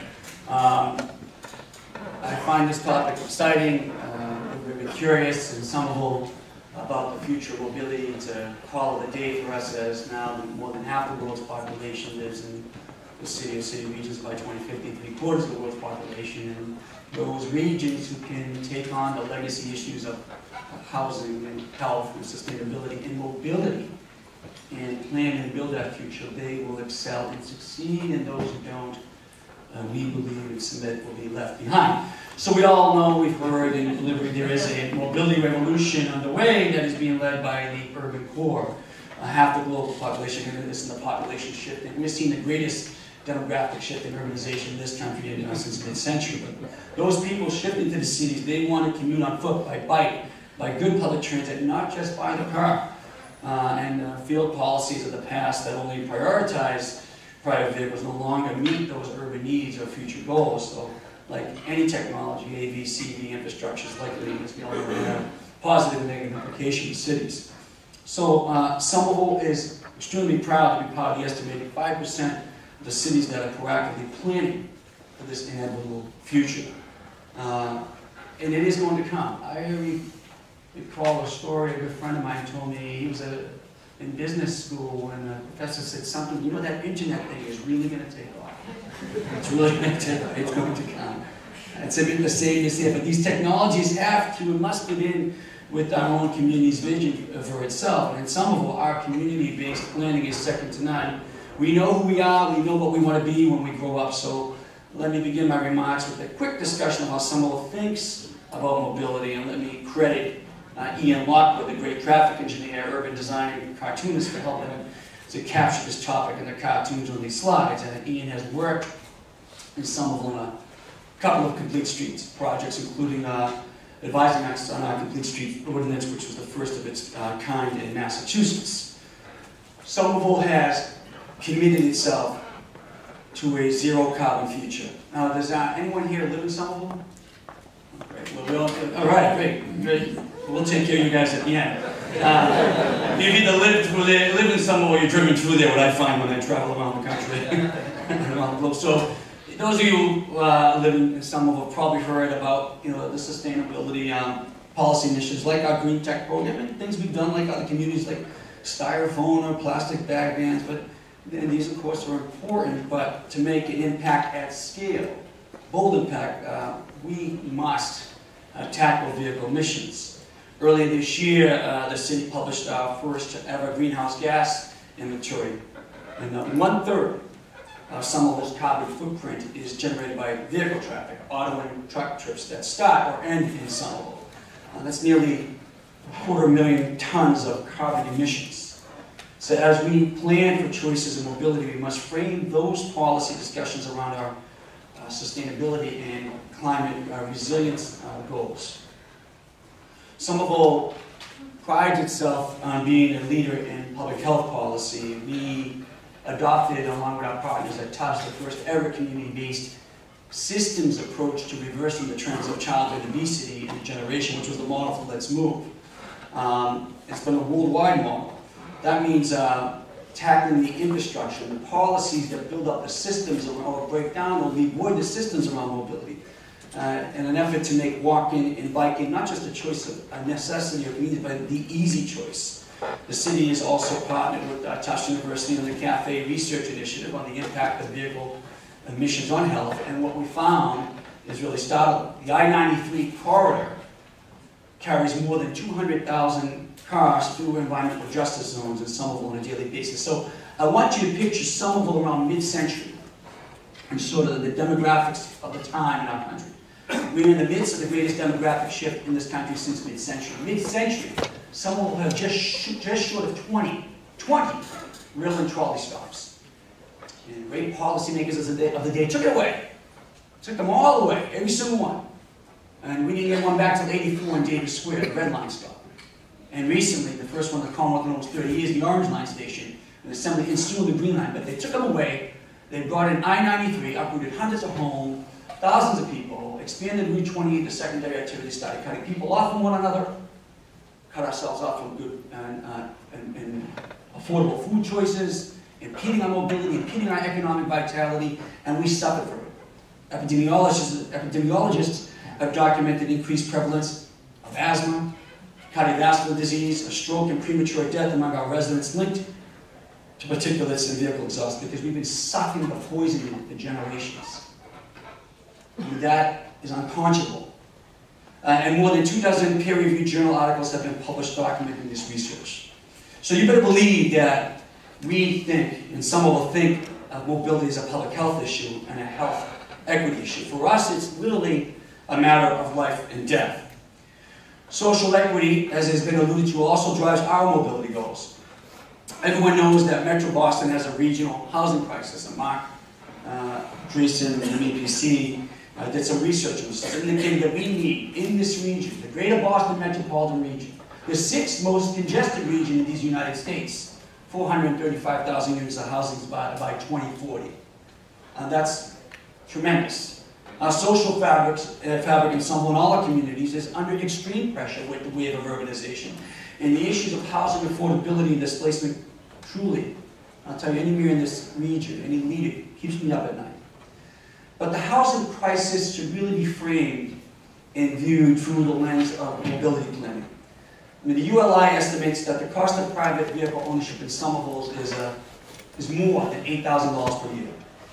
Now, that's a dominant component of a household budget. If you think of what whatever middle income is today, and housing prices in Somerville is the, most, the hottest market city in the U.S., but uh, there comes uh, tremendous negativity and pressures with that as well. What's amazing that is in Medford or Arlington, where fewer mobility choices exist, the costs are estimated at more than $11,000 per year. So if our mobility planning helps more households go from two vehicles, which I'm at, to one, if I didn't have four boys playing hockey, I'd definitely get one today, Marc, or from one to zero, uh, that's a significant part of an affordability strategy.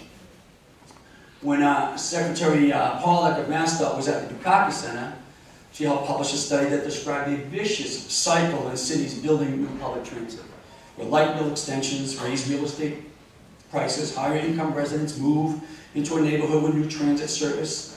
Uh, these new residents own more vehicles and they, and they bring them and they use them instead of newly built public transit. Uh, so the policy recommendation, limit your parking. Um, and can you mitigate some of the worst impacts? We still have this struggle in Somerville. There's still a cultural struggle and border skirmishes. We're going to build a cycle track. We still have people in the city think I need a parking spot for, uh, for every bedroom. We still have some zoning, Davis Square, much of, much of you will law that is a model of smart growth and TOD. I think it's by accident. There's still zoning in place that requires any ground floor use uh, to, uh, parking spot for every 100 square feet. Uh, we couldn't envision Davis Square back a quarter century ago as having all these open French cafe windows and such, and such a vibrant sidewalk life and, uh, and lifestyle. But there's a pattern emerging here, right? Uh, and is anyone in Somerville, uh, what's, anyone here familiar, you live in the city with some of those recent road diet projects at East Broadway or Beacon Street? Okay, good. We have heard from small business owners, as I just uh, alluded to, that economic vitality depends on automobile capacity and extensive parking. No, that's wrong. Get that out of your heads. Research has shown the opposite. In urban neighborhoods, bicyclists and pedestrians spend more money than drivers do, and we see that with the trend of urbanization. This is why people want to live deep in the urban core, connected to lifestyle and culture. Uh, Mayor Michael Bloomberg and his DOT commissioner, Janette Sadik-Khan, understood this very well. They established a research framework for tracking small business performance in all five boroughs in New York City, and it proves this point, as do numerous other studies from other cities. And there's plenty of data from Brookings especially this. A higher bike ped count, an increase in bike and foot traffic is good for business, the better your local economic activity and vitality and performance. Last um, uh, but not least, where the car is king, as we know and we have heard, has been proven public life and social cohesion suffer. How many in here have read uh, Happy City by uh, Charles Montgomery? Oh, son, very good. In Somerville, we become the first, I believe, city in the world uh, to systematically measure happiness. Uh, there's a rigorous science behind it. And uh, we've worked together with Professor Daniel Gilbert and our partners at Harvard on the leading edge of that research. And we have found that auto-oriented neighborhoods are less happy than walkable neighborhoods. Uh, we've also been working with Jan Gehl's research team out of Copenhagen to evaluate the quality of our plazas, sidewalks, and public spaces. No surprise when urban design promotes walking and biking, more residents use these public spaces. And I submit to you uh, that some of those traditions of civic pride, tolerance, and participation are reinforced when uh, neighbors meet neighbors in public spaces were not just blurred images of motor vehicles and windows of motor vehicles driving by us. And that's really important as we think about planning and building healthy, productive neighborhoods and communities for people. People to a human scale, who own the streets, to build that social capital and that social equity. We think if you're happy, you're healthy, and you're more productive. So through that lens, how can AV and auto, auto, autonomous vehicle, connected vehicle technology fit in? Uh, so when I read about this stuff in the newspaper, the coverage sometimes makes me think of Robert Moses or Le Corbusier rising from the dead. Fleets of high-speed robot cars, uh, traffic lights timed to maximize a vehicle throughput. Uh, this dystopian image where cars, not people, dominate the landscape is not consistent at all with Somerville's vision. So we have a choice. We can ignore what's coming, or we can engage it and mold it and drive it. And you can guess the choice I made as mayor, the choice we've made as a community.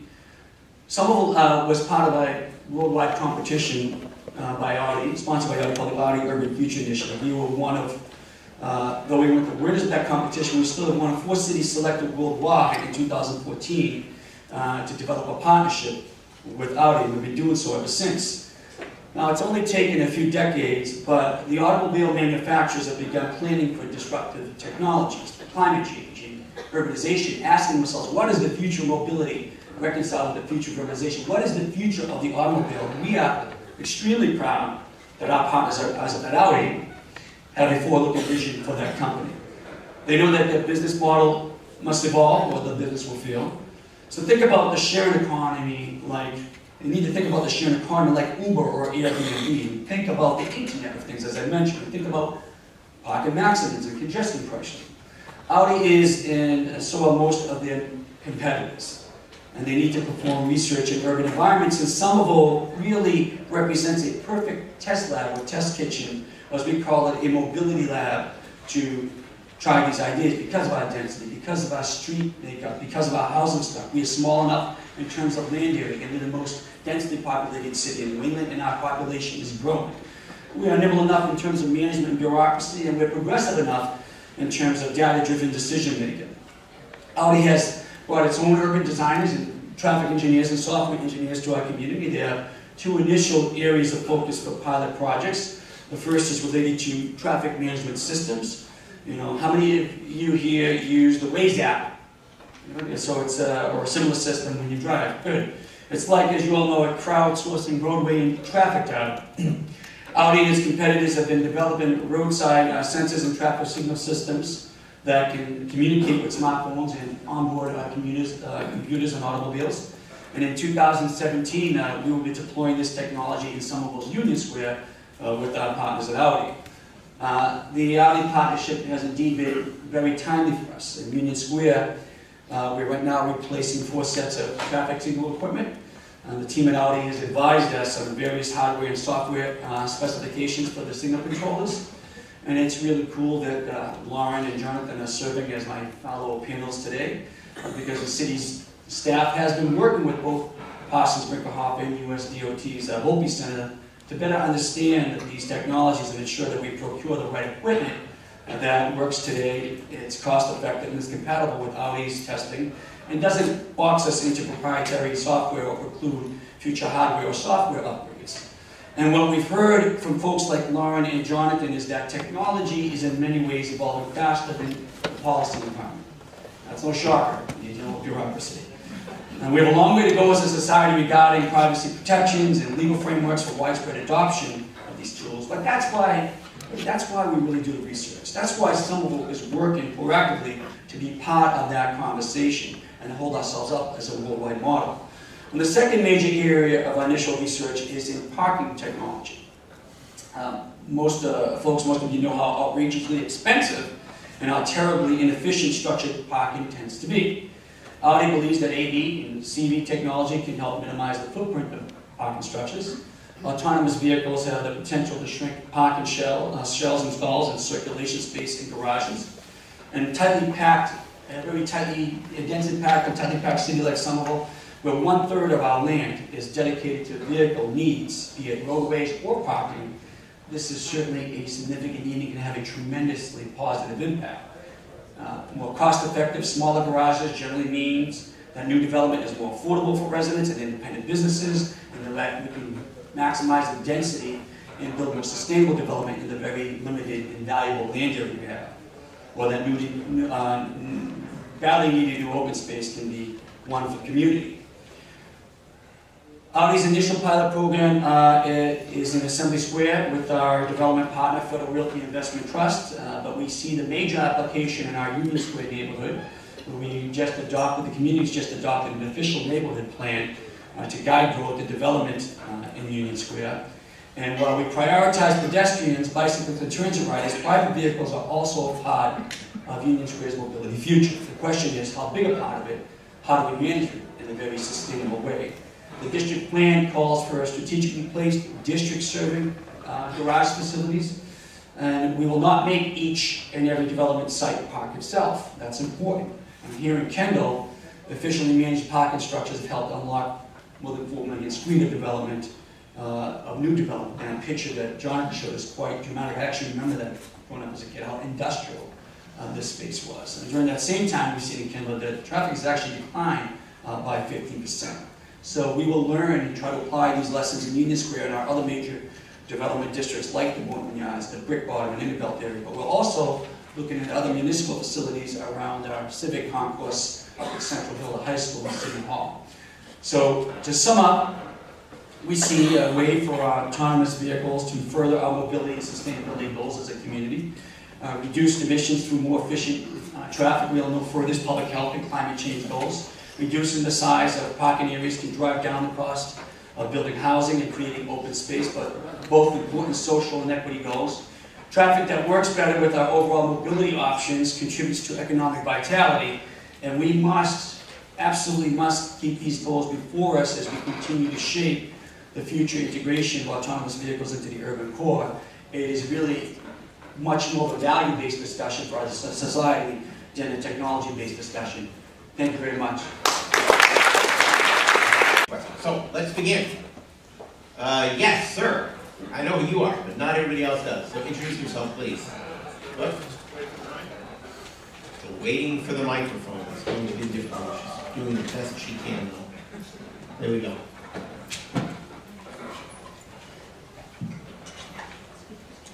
Sorry.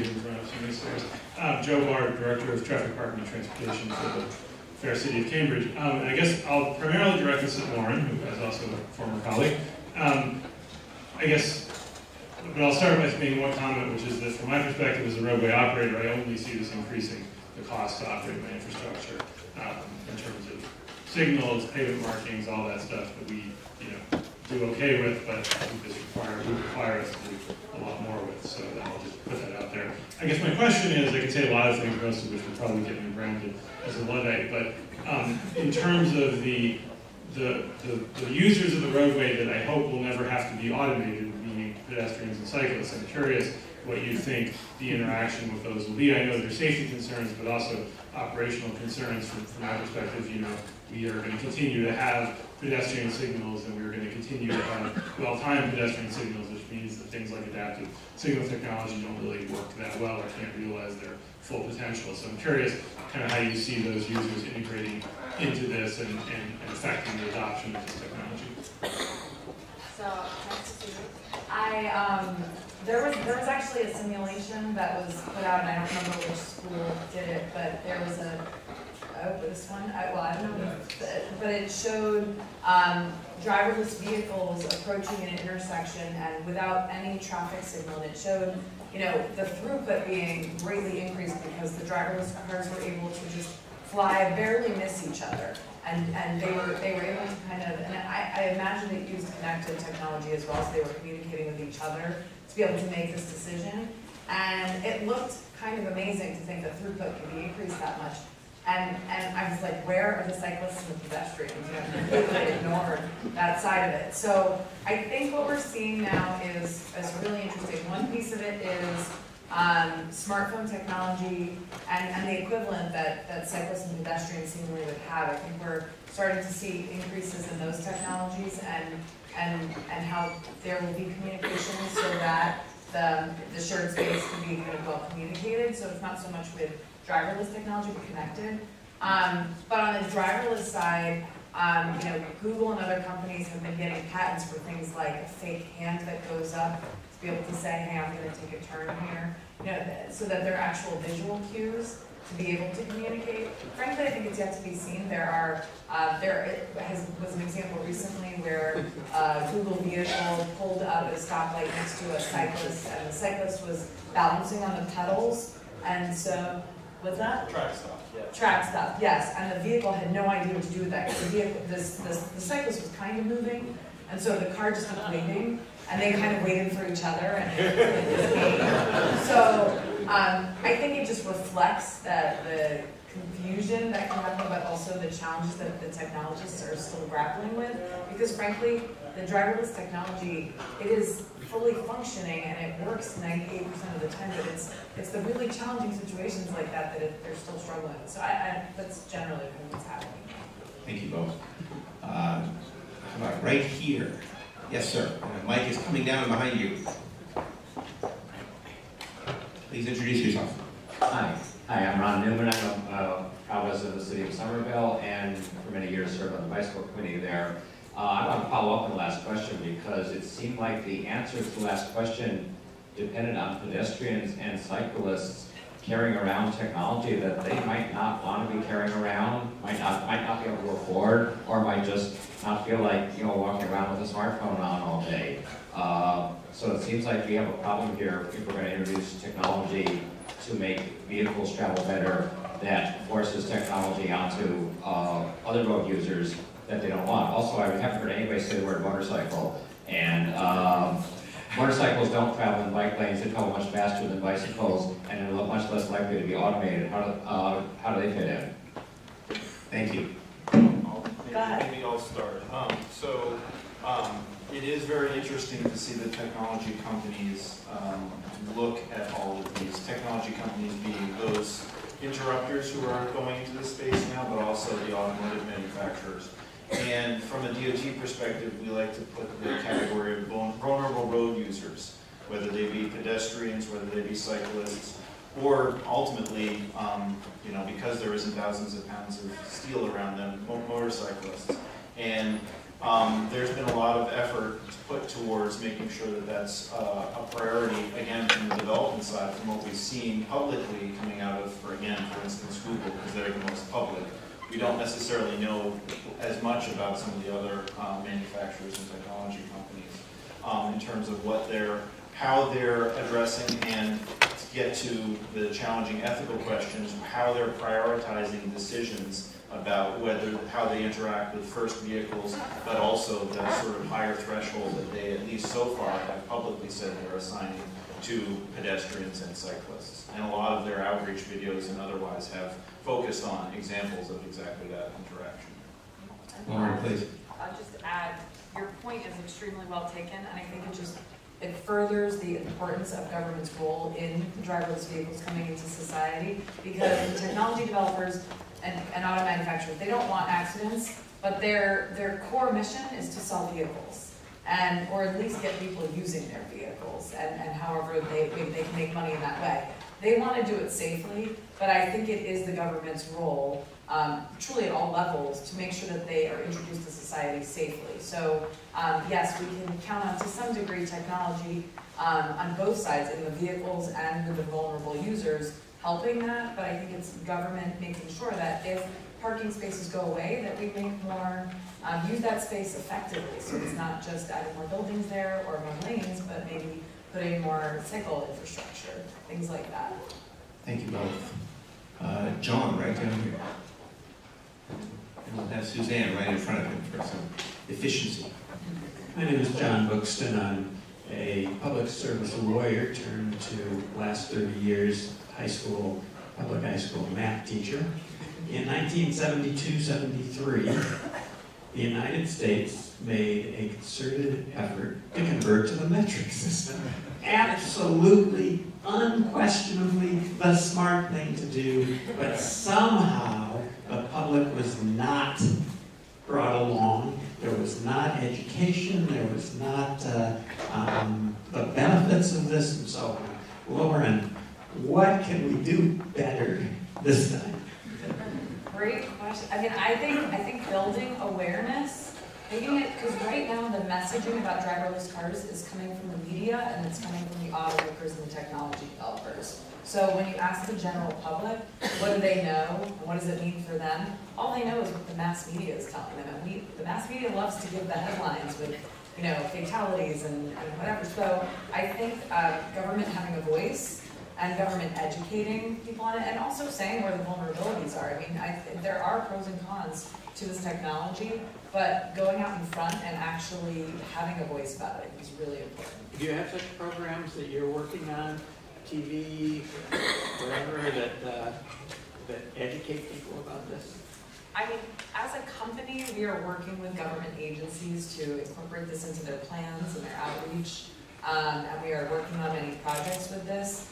And, but I, yeah, I mean, it's, it's not pervasive by any means. Suzanne. I do Oh, think sorry. that's, I do think that's important, and I, I will will point, it's not um, necessarily vehicle related, but there is a website called My Car Does What. And it explains all types of safety technologies and other pieces of technology on vehicles, and it includes things like some of the now automated systems. That's not gonna make it to the wide population.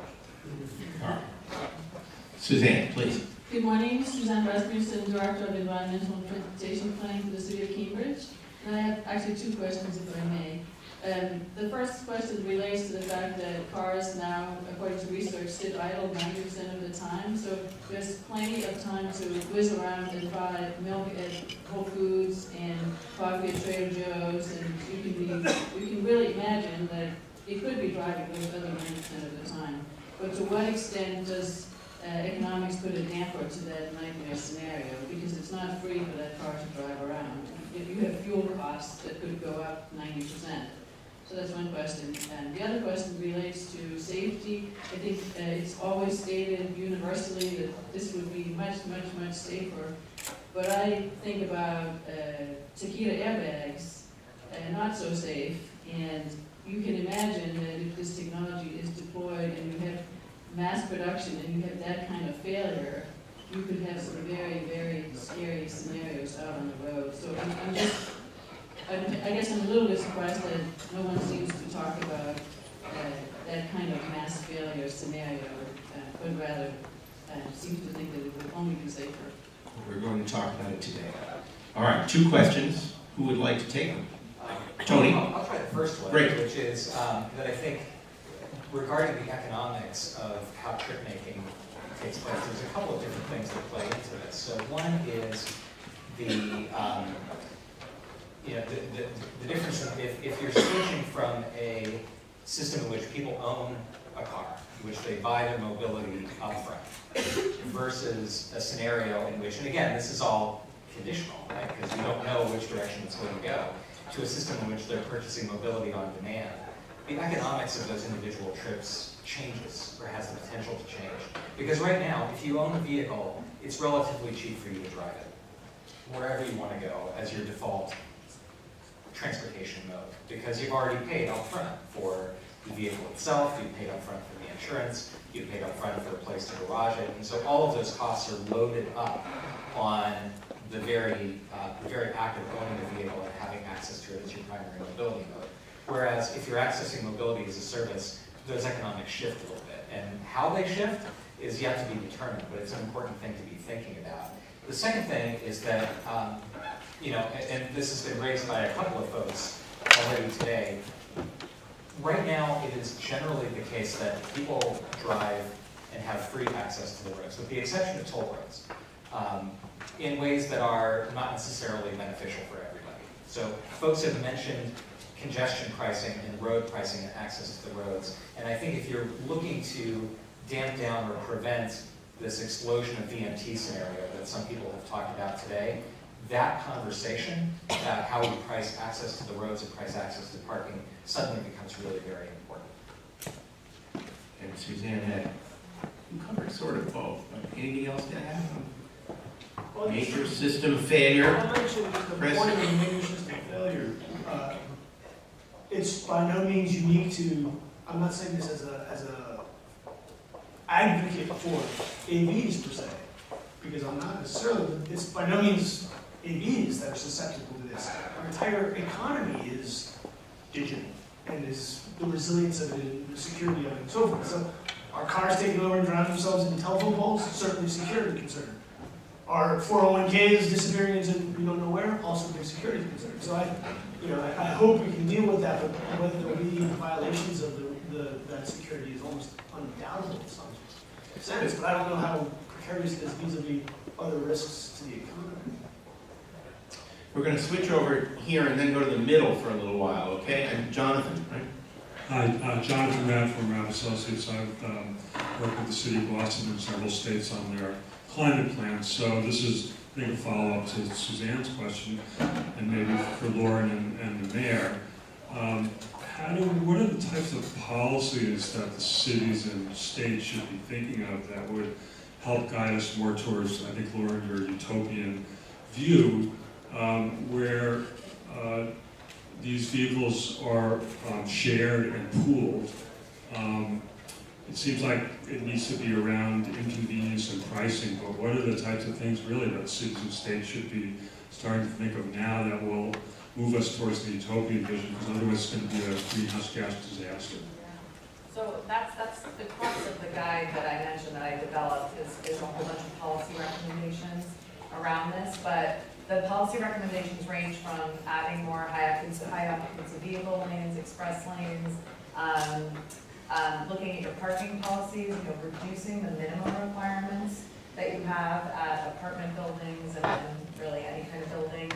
Um, looking at the, um, the um, taxes that you have in place, so parking taxes, sales taxes, putting them in place in a way that both incentivizes sharing and disincentivizes private vehicle trips and or ownership and or parking.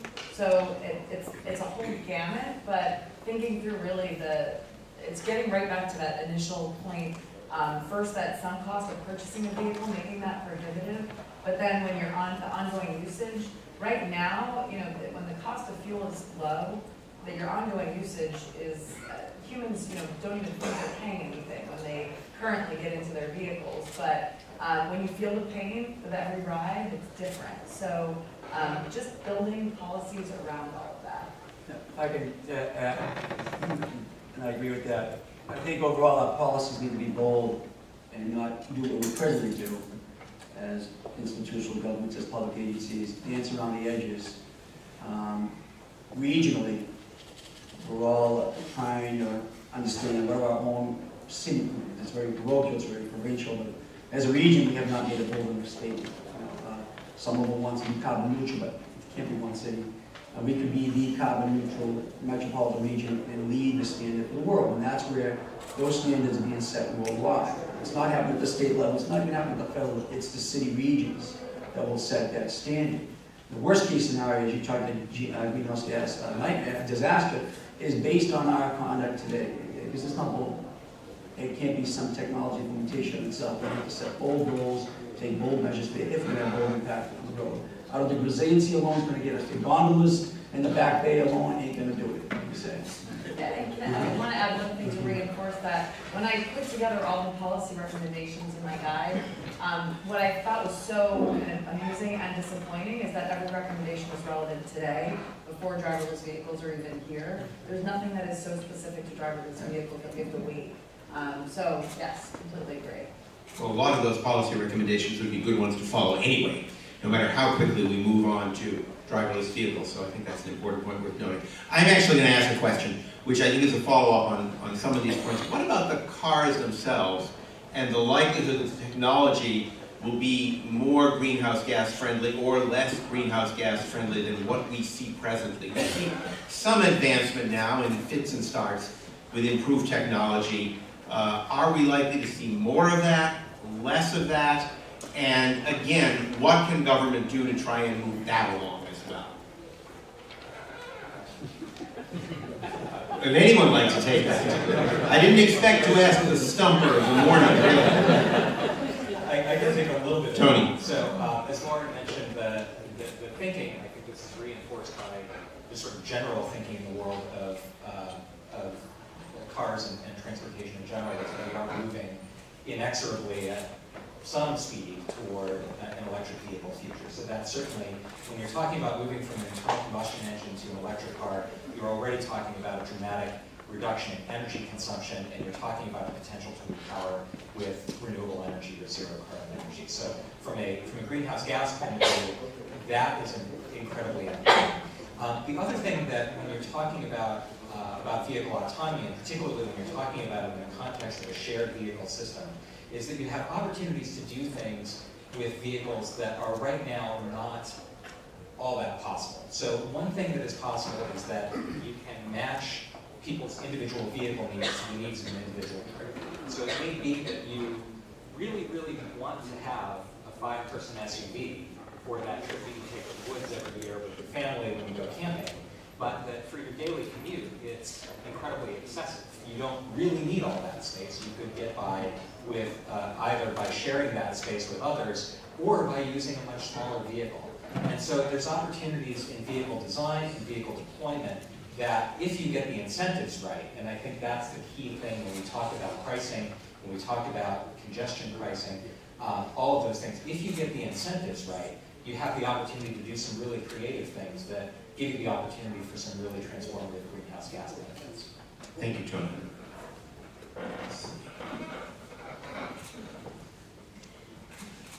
The Gentleman, um, right over there, his hand up, yes. Hi, I'm Saul Tenenbaum. I'm a member of the City of Cambridge Transit Advisory Committee, who I'm not speaking for. Um, I'm going to direct this to Mayor Curtatone as the public official on the panel, um, not that I think he's responsible. Um, I'm going to say that I'm speaking person. I'd like to talk directly about money, because people are, um, you know, thinking about it, and the only, the only actual, you know, direct mention of money was, you know, from the federal government's small grants about smart vehicles and smart cities, which is really pocket change compared to the amount of venture capital and R and D spending that's going on. Um, I mean, here in the metro region, we're, we're you know, we have to fight for every single public transportation dollar. Um, and, I mean, as Mayor Curtatone knows well, the Green Line extension is problematic um, um, because of that. How is the public sphere around driverless vehicles going to be funded? Um, why is this not going to just become another um, um, version of the car culture? Um, you know, which trampled your city and, and mine, you know, with highways and parking lots. How do we actually fight against that? Mayor. How do we get more money for transportation? So we'll have to have another panel discussion on that. Um, Look, I don't know that answer. I will tell you that it is one that must be answered. Um, Overall, uh, here in Massachusetts, we don't, we're not as progressive, nearly progressive as we hold ourselves out to be, especially when it comes to funding public transportation. We don't do value capture. Uh, it's piecemeal, and uh, you know I see friends from T for Mass here that tell you we're trying to be competitive in the 21st century global economy with mixing their infrastructure. And we're talking about autonomous vehicles and how we do it. But we got to find a way to do it. And I think to go back to another question when we talk about how you get the message out, this is not a technical challenge. This is really an adaptive challenge for one of the calls of the day. And how do we drive constructive disequilibrium around this conversation? And I think you do that by, by really stressing, the data stresses what's at stake. Sustainability of our environment, our public health, uh, the, the loss of economic opportunity for our cities, for our regions, for our country. Uh, and what can be leveraged if we take on more progressive models of transportation and new technologies. And then we can have the discussion about how do you fund it. I think if, uh, the worst thing we do as public policymakers come out to say, ask money for something because it's going to meet a bureaucratic wall and it's not going to go anywhere. We see that right here in Massachusetts. We need to drive to the public disequilibrium on this issue. We need to turn it, heat up, heat up on it. It's much more a value-based discussion in terms of our social uh, values as a society, much more than an economic value conversation. And I would add to that as a public official as well. I think it's a very good question. Uh, you know, we have seen in this country and across the world many points in time when we needed a transformation of infrastructure.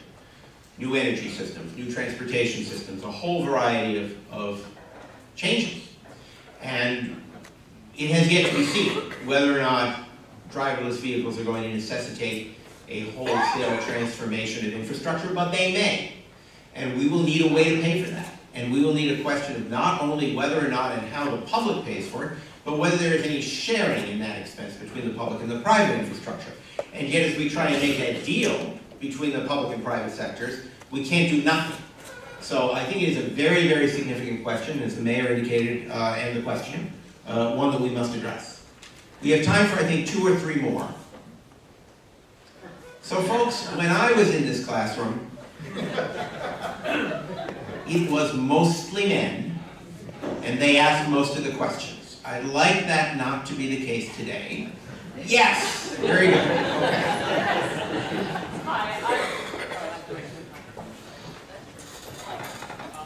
Hi, I'm Jan Devereux, I'm a Cambridge City Councilor. Uh, this has been a fascinating conversation. I wanted to ask, I read that Norway had, is going to ban sales of new gas-fueled cars by 2025. Maybe that's that's a Facebook myth, but I believe it because I believe, and they seem to do everything really well in Scandinavia. We're talking about AVs. I feel like EVs have been sort of just like, can we assume that all these AVs will be electric and can we get our federal government to be bold and start requiring this kind of thing? Thank you, Councilor. Luke, Lauren? Yeah, I'll, I'll just say that the technologies are being developed entirely separately. So even though, literally every study that forecasts the impacts of driverless vehicles, everything I've seen, uh, makes the assumption that they're electric vehicles. That is not necessarily the case. And again, I think that's a really important role for government, is to make sure that that is the case. So, um, and that, it's not just putting policies in place, it is gonna be making sure that the support infrastructure is there, um, the charging stations, making sure that the charging stations are not proprietary to different types of vehicles. Um, and so, um, and, and the other kind of good news on this is that the technology is getting better very, very quickly, you know, the weight of the battery, the duration that it can last, so the potential is really there, but I think without the right incentives in place, um, people are gonna continue to go for the cheapest option. So, and I, I think that cost is gonna continue to go down so that they're more competitive, but that's a really important role for government. I'll add, I'll add two things briefly. So, um, that smart city challenge that I mentioned, the forty million dollars from the federal government was ultimately, uh, added to or supported by additional ten million dollars from the Vulcan Foundation, specifically uh, focused on electrification.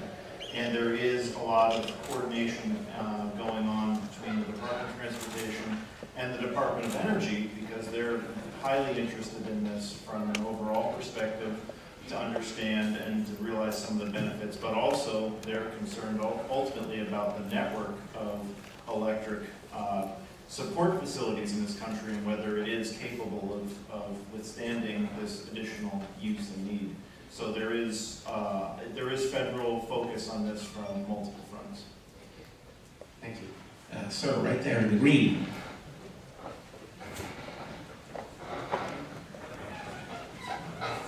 Yes, my name is Steve Kaiser. I'm a citizen engineer from Cambridge. And My question is for John Koopmann. We are both uh, MIT graduates in mechanical engineering. And last week, the MBTA... Who graduated first? That's what I... First class of 65. Um, chemistry in this room. Um, Last week, the MBTA announced the results of the total replacement of the fleet for the Orange Line. And they're gonna increase the size of the fleet, increase the capacity of the cars, increase capacity of the entire line by thirty-five percent. Now, driverless cars, we're basically talking about a highway project, and in the urban area, that means congestion and bottlenecks. What's gonna be the improvement in capacity there? Now, in your slides, one of your slides said there's gonna be a decrease in VMT. In Lauren's uh, slide, it said there's gonna be an increase in VMT. And I think with the reduction in parking, the increase of empty cars traveling around, she's right. And if you can't reduce the VMT, why are you doing this? You're just gonna have more congestion. And I would, in the remaining seconds of my time, just say we had a highway project fifty years ago, and there was a slide in the first presentation which showed this huge highway going through Central Square. It's called the Inner Belt. A ring with seven radials, highways coming in, all eight lanes, except for six lanes in the downtown central artery. Guess where the bottleneck was? Guess where it was? The traffic engineers in the late 50s said, you don't need six lanes, you need 24. And civil engineers said, build it just as we designed it with a six lane. Be careful here that you don't have another Inner Belt disaster. Thank you. Uh, Jonathan, do you want to handle? A lot, to answer. Um, so, uh, I formerly lived, I live in Arlington now, but I formerly lived in the south end, I lived right near the southwest corridor, in one of the areas that one of the Inner Belts was supposed to go through. And it was fascinating to me when I moved in there to learn about the history of, of that, and um, happily the fact that it didn't uh, materialize. Um, to clarify, in case it was interpreted or I, or I misspoke in any way, I, I no way think VMT is, is going to go down. I don't know what VMT is going to do. Almost all the estimates show that VMT is likely to go up. The numbers are staggering in terms of the variety of estimates that people provide. Somewhere between seventy percent VMT decrease to two hundred and fifty percent VMT increase. So again, that crystal ball that I spoke of is very far from being clear as to, as to what that will, what will happen in that, in that space. I'll just add, in terms of throughput, um, there is a lot of question of what this added VMT could mean, because the vehicles could potentially travel much more closely together.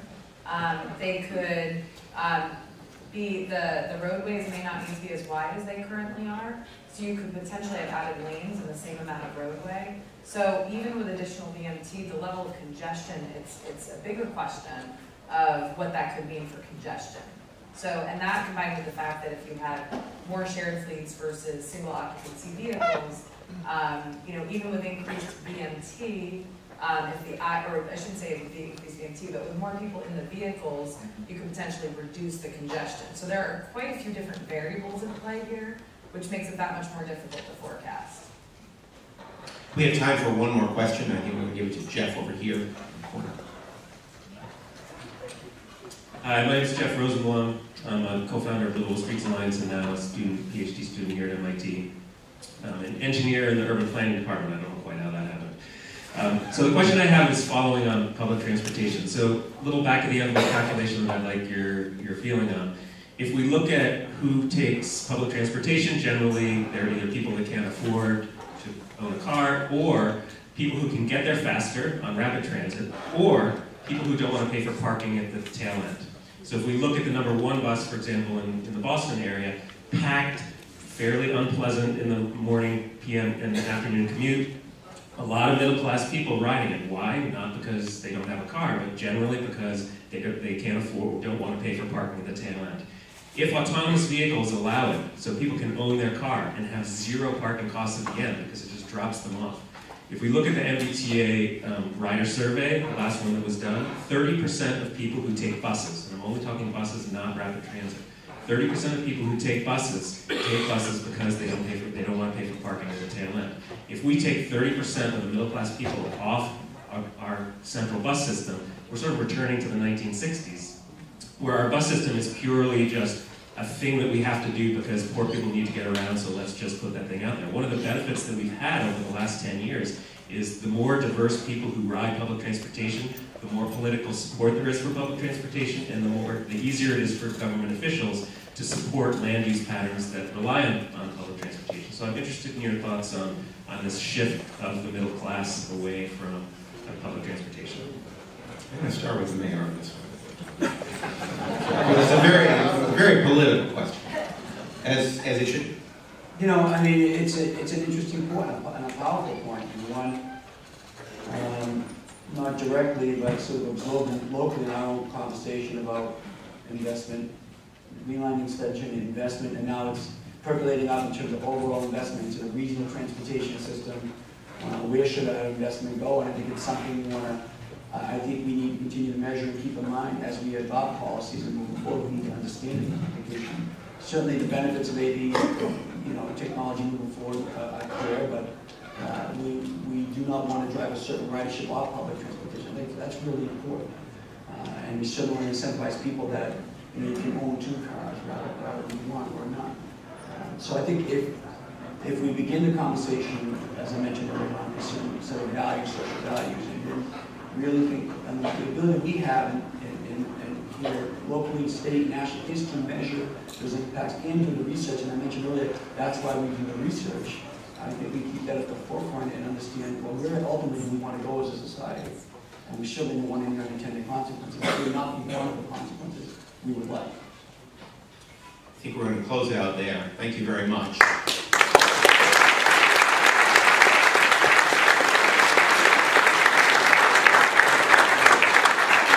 There are a couple announcements, very importantly, a few things before we, as we finish up. One is, uh, this afternoon we will be having an additional panel with many of these same panelists for local officials, particularly elected or appointed.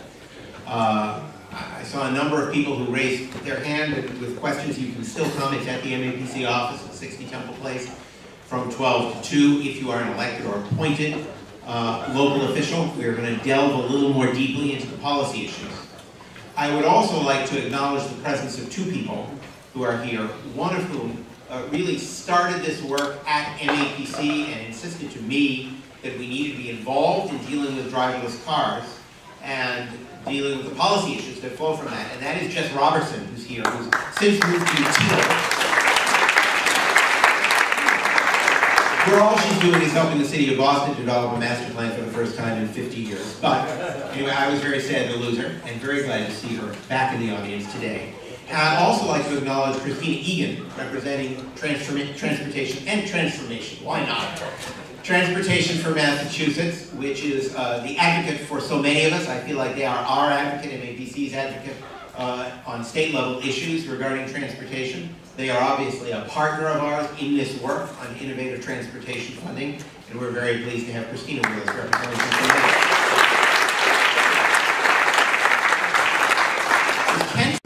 So it's great to be here, and, and uh, hopefully I have, I have some- lots of little videos to show, little 10 second, second video clips if this works.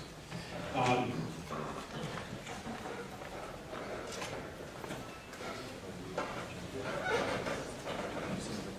yeah.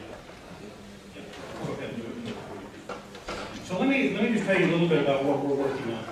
We, um, we have a series of living lab partners around the city.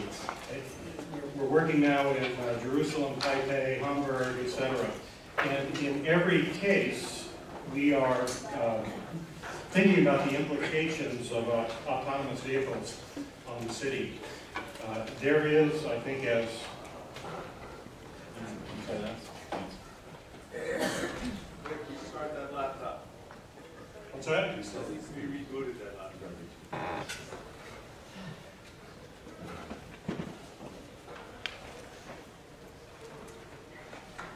I hate when this.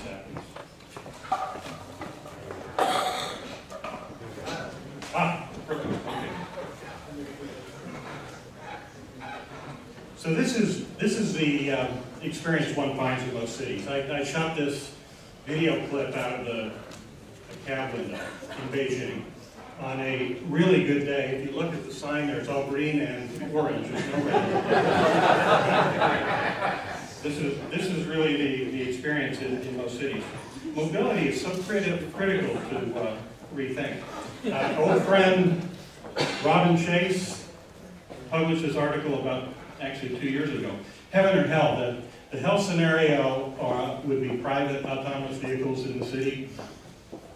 Uh, The heaven scenario, shared use systems, I think she's, she's onto something.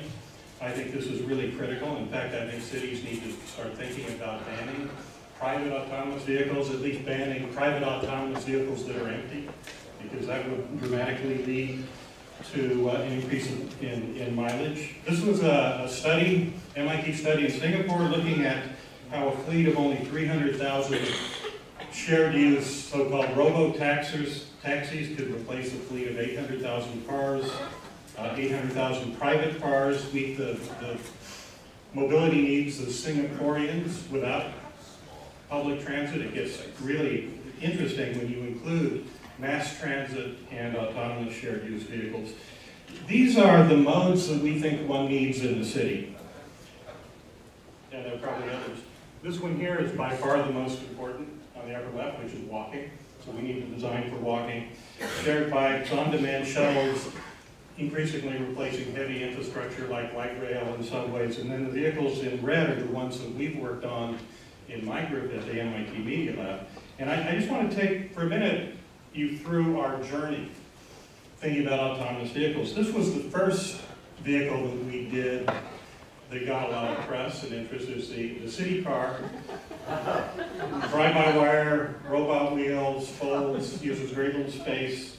You know, three, three of these for one parking space. But then we realized, we built a full-scale prototype, tested it in, in Spain, we realized that we weren't pushing that far enough. That really what, the, the city didn't need a better car. The city needed us to think about a whole new category of vehicles. And, and this, something like this slide was shown earlier, I, I do think vehicles in the future will combine these three things, autonomy, vehicle sharing, and electric drive.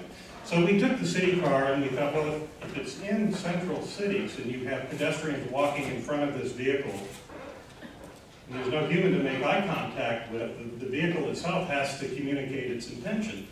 Now, this seemed like kind of a wacky idea, but we had some of our sponsors, including Denso, the big auto supply company, that I met with in Tokyo last week, adopt this. So I think this is really critical in the future. Then we realized that we needed to push it a little farther. Vehicle sharing around that time was exploding. There's something over a thousand uh, bike sharing programs around the world right now. So we decided to do a lightweight electric vehicle. We call it a personal electric vehicle that could be integrated into a bike sharing program. It's folded like the city cars that use very little space. Call it a persuasive electric vehicle to persuade you to shift to a more sustainable mode and to get more exercise.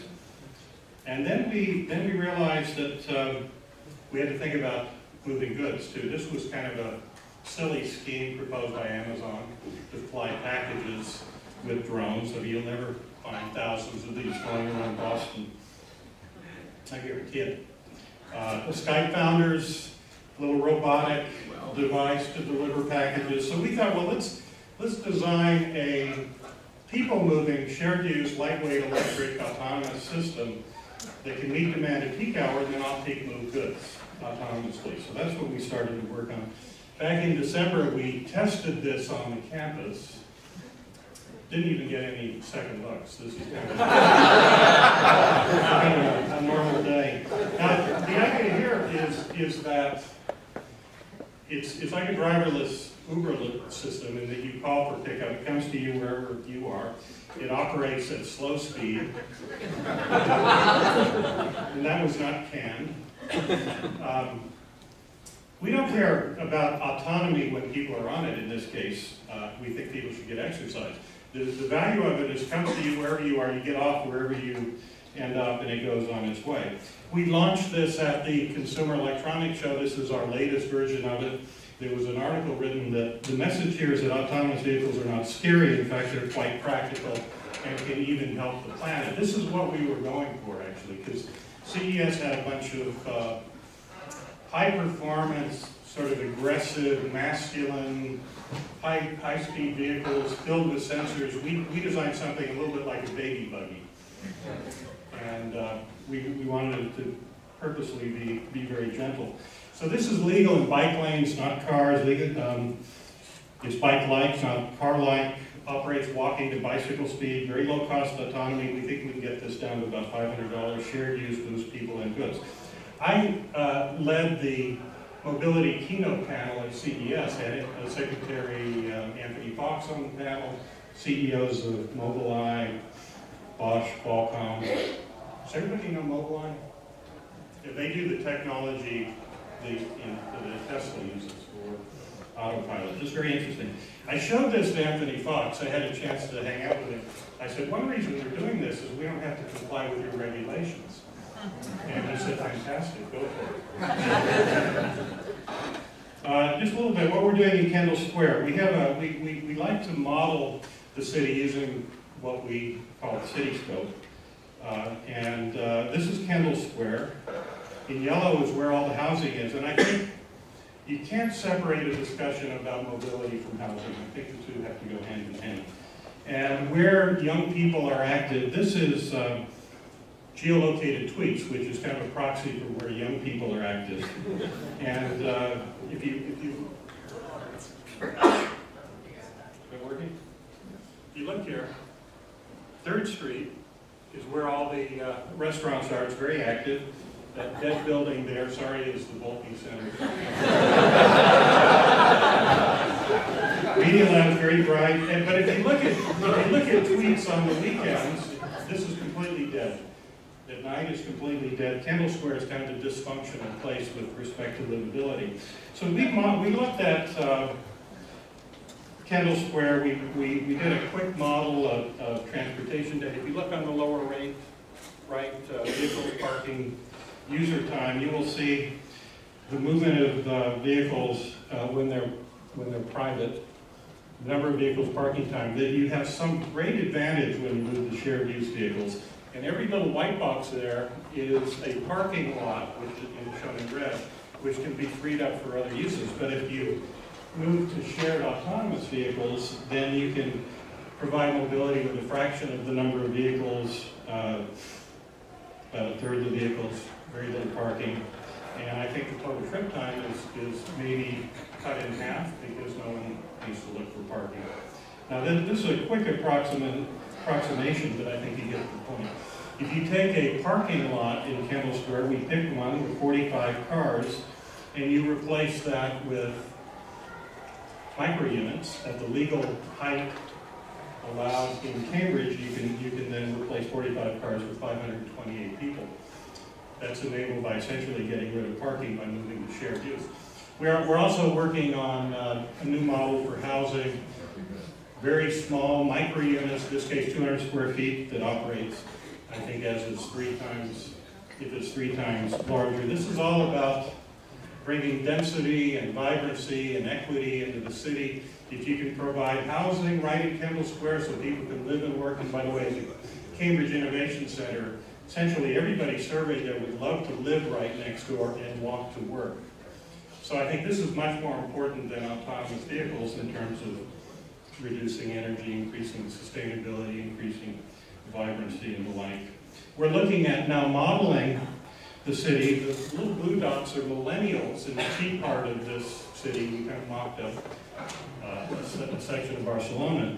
And you move micro units down and you can see how mid-career and senior people and young professionals can all interact and we can then model this impact on mobility to start with and then model the impact on mobility of the shared use lightweight personal electric vehicles.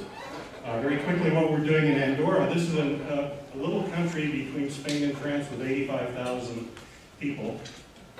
8 million visitors a year, they all drive in. We have all of the uh, telecom CDR data and Wi-Fi data for the entire country. And here you can see a traffic jam. when you enter at the French border, the Cirque du Soleil, we can model the movement of, of uh, people or vehicles because everybody drives there. And we're using that information to then help us design a little PEV deployment pilot test in the capital. What we're looking at now is about a two kilometer street, uh, not mixing with cars, where we will have these little electric vehicles pick up packages and pick up people, drop off people, drop off packages, and we're now modeling the impact on the city and seeing what kind of reduction we can get in traffic and um, parking and the like. And then the last thing I'll just show very quickly, Jerusalem. I was just there doing a workshop to look at the implications of autonomous vehicles in Jerusalem. It's landlocked, basically, politically infeasible to expand the city very much. Series of villages on the hilltop, top.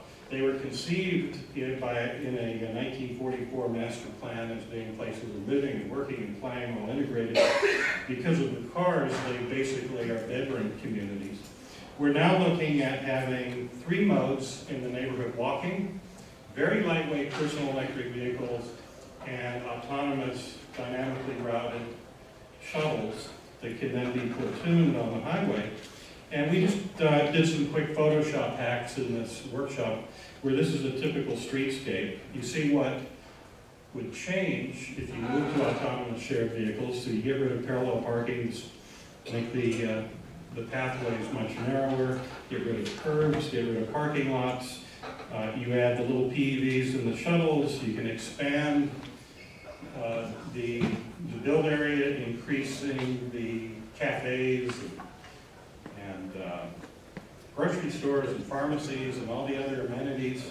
Uh, increase the density significantly without because you don't have problems with traffic and parking and housing, et cetera. It's pretty interesting. So we're now developing a project in Jerusalem to a little more systematically look at the implications of this.